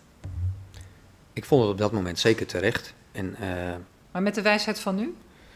Ja, daar moet ik even over nadenken. Ehm, nog steeds terecht. Kunt Ja. u dat toelichten? Nou, eh, eh, u, u doelt op het SD-certificaat eh, van, het van de keuringsinstantie. even voor Ja. SD, het kwaliteitsmanagementsysteem Precies, is ja. getest, certificaat gegeven van er is een goed kwaliteitsmanagementsysteem en het is ook nog goed toegepast en geborgd in de praktijk. Dat is het doel van dat certificaat. Ja. Ja, daar heb ik me dus in juli, mei, juli eh, 2012 van eh, laten overtuigen. Hè. Dus ehm, ik weet dat, ze, dat, dat de keuringsinstantie in tussen 2007 en 2011 acht keer ter plaatse is geweest om dat QMS, dat Ik heb even niet, eh, eh, meneer Van Heerwaarde, over het proces, maar meer de uitkomst. Dat een aantal rapporten vaststellen dat de afwerkkwaliteit op een aantal plaatsen onvoldoende is. En er is wel een certificaat afgegeven wat zegt... kwaliteitsmanagementsysteem is in de praktijk goed toegepast. Er zijn verschillen tussen treinen. Dus mijn vraag aan u is, u kent de rapporten... is er dan terecht een certificaat afgegeven voor dat kwaliteitsmanagementsysteem? Ja. ja, ik denk nog steeds dat het terecht is geweest. Eh, omdat die afwerkkwaliteit. ehm, nou ja, het is echt eh, het individuele handelen van een monteur geweest. Wa- Waar, waar- waardoor dan eh, treinen net iets verschillend kunnen zijn. Maar qua eh, voldoen aan de TSI hebben ze allemaal aan de TSI voldaan. En als we kijken naar hoe Lloyds eh, toezicht heeft gehouden of audits heeft uitgevoerd Mhm. op het kwaliteitsmanagementsysteem, één keer per jaar daar kijken, dan zegt u niet van goh, ik had eigenlijk misschien wat meer moeten doorvragen op, op de kwaliteit. Ook op basis van de signalen die u kreeg vanuit de media, uw collega's. Nee, dat is eigenlijk precies het onderwerp waar, waar ik inderdaad op door heb gevraagd. Hè, de, die mei eh, 2012 en waarin ehm, ze mij nog eens geschetst eh, hebben dat ze dus die acht keer tussen 2007 en 2011 ter plaatse zijn geweest. Dan vraag ik, hoe zag dat er dan uit? Ehm, nou, discussies over het kwaliteitszorgsysteem. Eh, eh, Ansaldo Breda heeft al een ISO 9001 systeem, dus zijn al gewend om eh, met een kwaliteitszorgsysteem te werken. En die acht keer dat ze er geweest zijn, en die heb ik ook echt bekeken, en die conclusies die staan ook in een van die veertien belangrijke documenten, eh, die was steeds, ja, wij stellen vast na de audit dat Ansaldo Breda in staat is om het ontwerp, zoals we dat hebben vastgesteld, ook daadwerkelijk te produceren. Ja, dus u zegt even samengevat, ehm, toen vonden we dat het certificaat terecht is afgegeven. Kijkend hoe het is afgelopen met de treinen, vind ik dat nog steeds. Dat is eigenlijk ja. wat u zegt tegen deze eh, commissie. Ehm, in die auditrapporten stond bijvoorbeeld ook het, eh, dat er eh, gelast is op een roestige ondergrond. Dat er ook meetinstrumenten waren die niet gekalibreerd waren. Zijn dat zaken die u ook gezien heeft? Want u zegt, ik heb de rapporten gelezen. Nee, die, die, die, die rapporten heb ik niet gelezen. Die hebben mij nooit bereikt. Want Ik heb u- ze niet opgevraagd. Ik denk dat dat meer de, Ja, de, nee, situatie Eh, is. eh, ehm, waarbij ik wel een van die acht rapporten eh, eh, wel een keer heb ingezien. Ja. Nou, als we kijken naar het werk van, eh, van de keuringsinspectie, die is één keer eh, eh, per jaar, twee dagen, eh, hebben ze eh, gekeken naar het kwaliteitsmanagementsysteem. Geen onaangekondigde bezoeken, dus die waren van tevoren gemeld. Van tevoren werd ook het auditrapport eh, besproken. Ehm, is dat nou voldoende om goed zicht te krijgen op die praktijk? En ik vraag dat omdat u afhankelijk bent van de informatie van de keuringsinstantie. U moet een oordeel baseren op basis van de informatie van de keuringsinstantie. Ja. Is dat voldoende? Ik denk dat het voldoende is. Ehm, U heeft ook nooit gezegd of gevraagd, het is misschien verstandig, kijkend naar de complexiteit, Nee. de signalen. Nee, nee want dit is, dit zijn, dit, dit, dit, dit eh, is niet zomaar even op een namiddag bedacht, dit hele stelsel. Ehm, Brussel heeft daarover nagedacht. Het hele stelsel eh, met, met alle lidstaten. Dus, eh. Maar Brussel zegt ook niet dat je niet zelf meer mag nadenken, natuurlijk. Nee, dat klopt. Ehm, maar we weten, misschien weet u ook dat het zelfs naar één keer in de twee jaar gaat. Dus di- dit was nog het regime ehm, eh, wat eh, Brussel al verder is eh, aan het liberaliseren. Maar op het Ehm. moment dat er twijfels zijn over veiligheid, dan gaat dat natuurlijk altijd voor wat voor regelgeving er dan ook is. Precies. Ehm, dus ehm, er is een 9001 kwaliteitszorgsysteem. Er is een keuringsinstantie, er zijn TSI's met modules. Die twee, maar vooral de laatste, geven mij voldoende zekerheid. En dat is ook het enige wat de wetgeving als gespecificeerd, eh, geharmoniseerd deel ehm, heeft, heeft eh, aangereikt. Dat, dat ehm, alles wat nodig is, wat er met zo'n trein moet gebeuren, ook daadwerkelijk gedaan is. Eh, we hebben gesproken deze week ook met de heer Jonkers, kwaliteitsinspecteur. En die zei over het kwaliteitsmanagementsysteem. Dat werd gewoon heel vaak niet in de praktijk toegepast door Ansel de Breda. Er waren grote zorgen daarover. Ja, dat was nieuwe informatie voor mij. En eh, we En zullen, vandaar dat, ook mijn vraag. we zullen dat meenemen, Ja. we zullen dat meenemen eh, bij de monitoring van eh, Lloyds Register Nederland, de NOBO. Want wij zijn, dat ben ik dan niet, maar eh, wij wel als dienst, wij zijn eh, vergunningverlener, certificeerder van eh, Lloyds Register Nederland en ook eh eh, En wat neemt u dan supervisor. precies mee? Wat, wat, eh, In de jaarlijkse, ehm, ehm, hoe zeg je dat, Eh, de monitoring, eh, in de jaarlijkse opvolging van alle partijen. Wij gaan jaarlijks naar alle partijen die van onze vergunningen hebben We hebben ontvangen. begrepen van mevrouw gaan we wat gaat u specifiek doen? Want eh, ik, ik zeg tegen u van, er is een kwaliteitsinspecteur die zei... het kwaliteitsmanagementsysteem wordt vaak niet toegepast. En toen zei u, nou, daar, dat gaan we oppakken, dat neem ik mee. Wat bedoelde u daarmee? Wat gaat er anders straks? Behalve dan dat u het monitort in een systeem, maar wat, wat gaat er nou anders? Ehm, nou, wat wij gaan doen is daar extra aandacht aan geven. Eh, wa- waar, waar Maar nou- wat is dat concreet? Gaat u tegen de keuringsinstantie zeggen, één keer per jaar is onvoldoende, u moet daar vaker rondlopen om een beter beeld te krijgen? Als ik me probeer voor te stellen hoe, hoe het gesprek richting eh, die NOBO zal gaan in, in zo'n continuerende audit, dan gaan we hen dus bevragen op hoe doe je nou zo'n QMS-toets eh, als je met zo'n TSI werkt. En je, en je, Het wordt en- heel ingewikkeld. Kunt u het iets duidelijker uitleggen zodat we niet ons publiek verliezen? Ja, u stelt een moeilijke vraag. Daar zitten we voor. Eh, wa- wat, hoe, hoe onze actie eruit gaat zien richting een NOBO. eh, van een, omdat eh, eh, de suggestie is dat ehm, het QMS niet gewerkt heeft. Daar begint het mee, toch? Vindt u dat? Nou ja, laten we die dan eerst scherp krijgen. Eh, u zegt, er, er is een QMS-systeem beoordeeld door de, door de keuringsinstantie. Ze gaan één keer per jaar. En er is een keurder, die is daar vaker ter plaatse en die zegt dat het, dat het niet klopt. Maar u zegt dus het QMS, het kwaliteitsmanagementsysteem, de, de toezicht daarop heeft niet gewerkt, zegt u. En dat gaan we in de toekomst anders doen. Dat is volgens mij wat u zegt. Misschien heb ik de vraag verkeerd begrepen. Ik dacht dat eh, eh, de nieuwe informatie die ik hoor, dat ehm, de suggestie dat, dat ehm, het NOBO-certificaat wellicht niet terecht is geweest, dat hebben we nu gehoord door, eh, door deze interviews. Die nemen wij mee als dienst om te kijken of onze NOBO daar misschien iets meer had moeten doen. Maar dat staat een beetje los van. Zij verhoren trouwens, geen interviews. Eh, maar Sorry. in de, in de verhoor is in ieder geval bij u duidelijk geworden dat dat, dat anders moet. Dat het, de keuring van het kwaliteitsmanagementsysteem onvoldoende is geweest. Dat is een conclusie van de inspectie zelf. Daar heeft u ook met collega's over gesproken. En dat Nee. gaan we anders doen. Nee. Ik, eh, wat ik, ik probeerde aan te sluiten bij een suggestie die u deed eh, toen u het Het over was de een heer- Jonkers zat. Is het certificaat over het kwaliteitsmanagementsysteem, is dat terecht afgegeven? Dat was Ja. een vraag aan, aan Zeg ik eh, ja? U zegt ja, en ook met de Dus wijsheid zegt van... u, eh, eh, maar de heer Jonkers die zegt dat het helemaal niet klopte. En dan zeg ik, dat is nieuwe informatie voor ons, die nemen we mee en we, en we gaan kijken wat we daarmee gaan doen.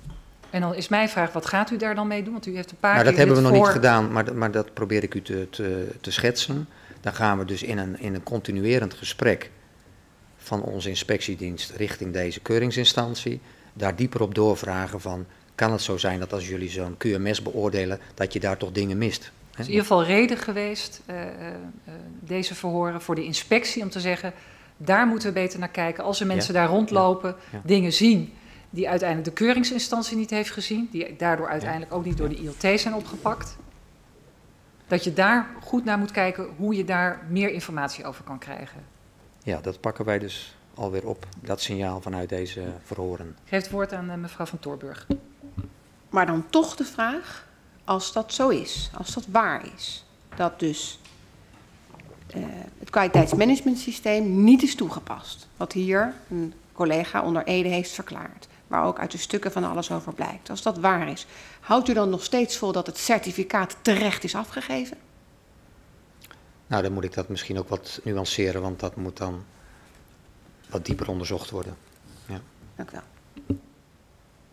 Nou, ik denk dat dat wel een, eh, eh, als ik u zo beluister, hè, dan, dan geeft u aan, eh, op mijn vraag in eerste instantie, is het terecht dat dat certificaat is afgegeven voor het kwaliteitsmanagementsysteem met de wijsheid van nu? Zei u ja, maar in ieder geval op de vraag van mevrouw van Toornburg zegt u in feite, Ja. Ik wil toch nog even, want het ja, daar bedoel ik dan mee dat er kleine afwijkingen kunnen zitten in, in treinen, die zeg maar eh, in de categorie vallen buitenscope TSI. Dus dan, dan blijven de certificaten onverlet correct eh, eh, geldig, maar kunnen er toch kleine verschillen in treinen zitten, die weliswaar misschien heel vervelend zijn voor het onderhoud, of, of als je een keer een wijziging gaat aanbrengen, maar dat wil niet zeggen dat de certificaten niet meer kloppen. Die, dat pleidooi wilde ik maar eh, Ja. houden. Dat, dat, eh, dat is helder, maar u zegt ook, eh, wetende wat we nu weten en horen tijdens de, de, deze verhoren, zegt u, we moeten onderzoeken of dat certificaat voor het kwaliteitsmanagementsysteem, of dat terecht is afgegeven. Dat is iets, of wel Ja. iets wat u meeneemt. Ik denk dat dat reëel is, ja. Dat is nieuwe informatie die deze week tot ons is gekomen. En wij, wij pakken altijd signalen serieus op en, we- en daar doen we dan wat mee. U heeft het ook gehad over een aantal signalen die misschien eerder zijn afgegeven en eh, die in uw achterhoofd zaten en waar u niet zeg maar iets eh, eh, mee heeft gedaan. Wij zijn altijd serieus. Ook als het in het achterhoofd zit, maar ons vraag is natuurlijk van wat doe je met de signalen? Ja. Hè, dat, dat nou, is- niet altijd per direct iets. Ehm, we gaan naar het volgende onderwerp. Ehm, in België en Frankrijk hebben keuringsinstanties mogen geen andere rollen vervullen. Dus ze zijn of ze keuren of ze adviseren. Eh, als we kijken naar eh, Lloyds, eh, dan heeft Lloyds Nederland gekeurd. En eigenlijk in opdracht van Ansaldo Breda. Maar Lloyds Europe heeft geadviseerd in opdracht van NSFSC, de leasemaatschappij die de treinen ging bezitten. en de Belgische vervoerdersmaatschappij NBS. Vindt u dat nou wenselijk vanuit het oogpunt van onafhankelijkheid? Nou, Want je keurt het werk waar je collega's over geadviseerd hebben. wenselijk is, eh, is, is misschien niet het eh, goede woord, maar het is eh, toegestaan. En als je het goed organiseert, is het voor mij geen probleem. U vindt het geen probleem. Ik vind het geen probleem. Als, mits, mits het goed ge- gemanaged wordt. En wat dus bedoelt dat- u met goed gemanaged wordt? Daar, daar bedoel ik dan mee dat een organisatie voor zichzelf goede spelregels moet hebben ingericht. Dat als je aan het een deelneemt, je niet meer aan het ander deelneemt. En daarvan weet ik dat het bij Lloyds het geval is. En, en gelooft u dan in de Chinese walls?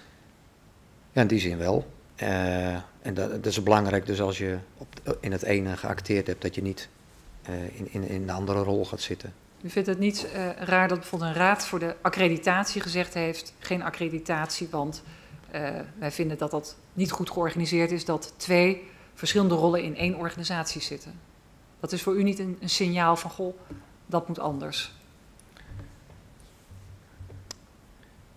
Ehm, ja, misschien verschil ik van mening met de Raad van Accreditatie. Dat zou kunnen, ja.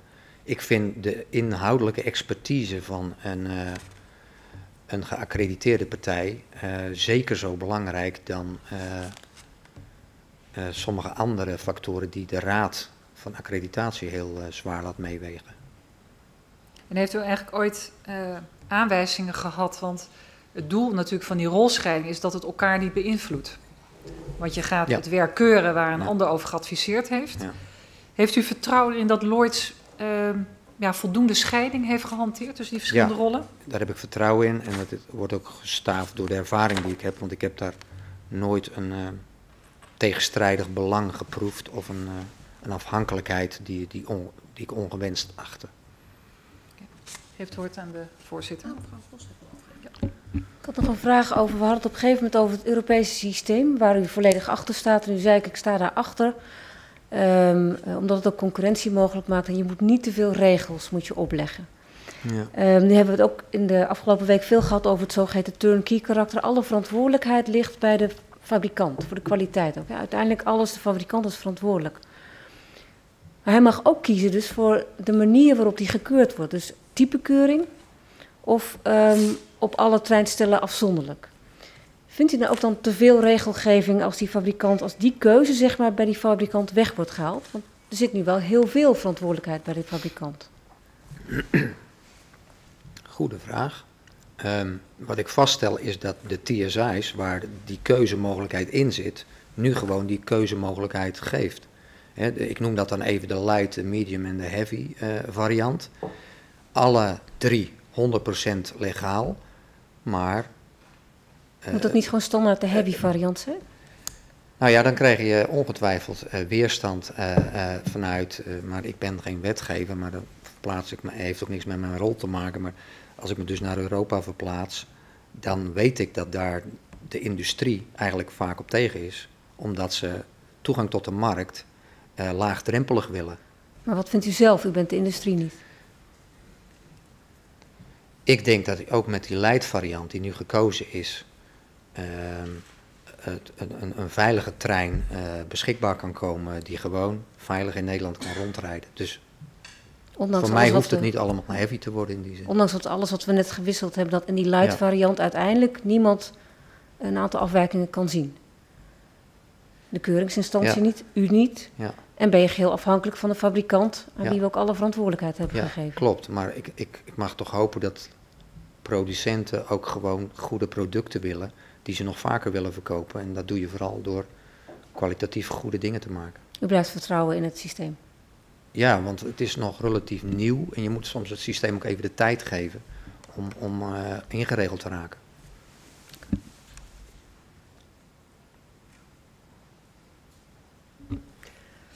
We komen tot een afronding. We hebben heel veel langs gehad, veel signalen die u, waarvan u zegt u heeft ze wel meegenomen, maar zijn geen aanleiding geweest om anders te handelen. We hebben aan de orde gehad dat het certificaat op het kwaliteitsmanagementsysteem wellicht niet terecht is afgegeven. Dan zou je de vraag kunnen stellen of dat betekent dat de vergunning terecht is afgegeven, want die is gebaseerd op certificaten. We hebben een uh, aantal uh, punten uh, aan de orde gehad waarvan u zegt, nou, die kunnen we misschien als leerpunten meenemen. We hebben het over de dubbelrollen gehad, over de nota gehad, over het volgen van het project en de signalen. Wat nog wel rest is één belangrijke vraag die wij stellen aan de mensen die nauw bij dit project betrokken zijn. Is, zijn er nog signalen bij u gekomen die uh, duiden op onregelmatigheden? Nee. Op fraude of dergelijke zaken? Nee. Nooit een signaal gekregen? Nee. Oké. Okay. Dan sluit ik dit verhoor. Dank u wel.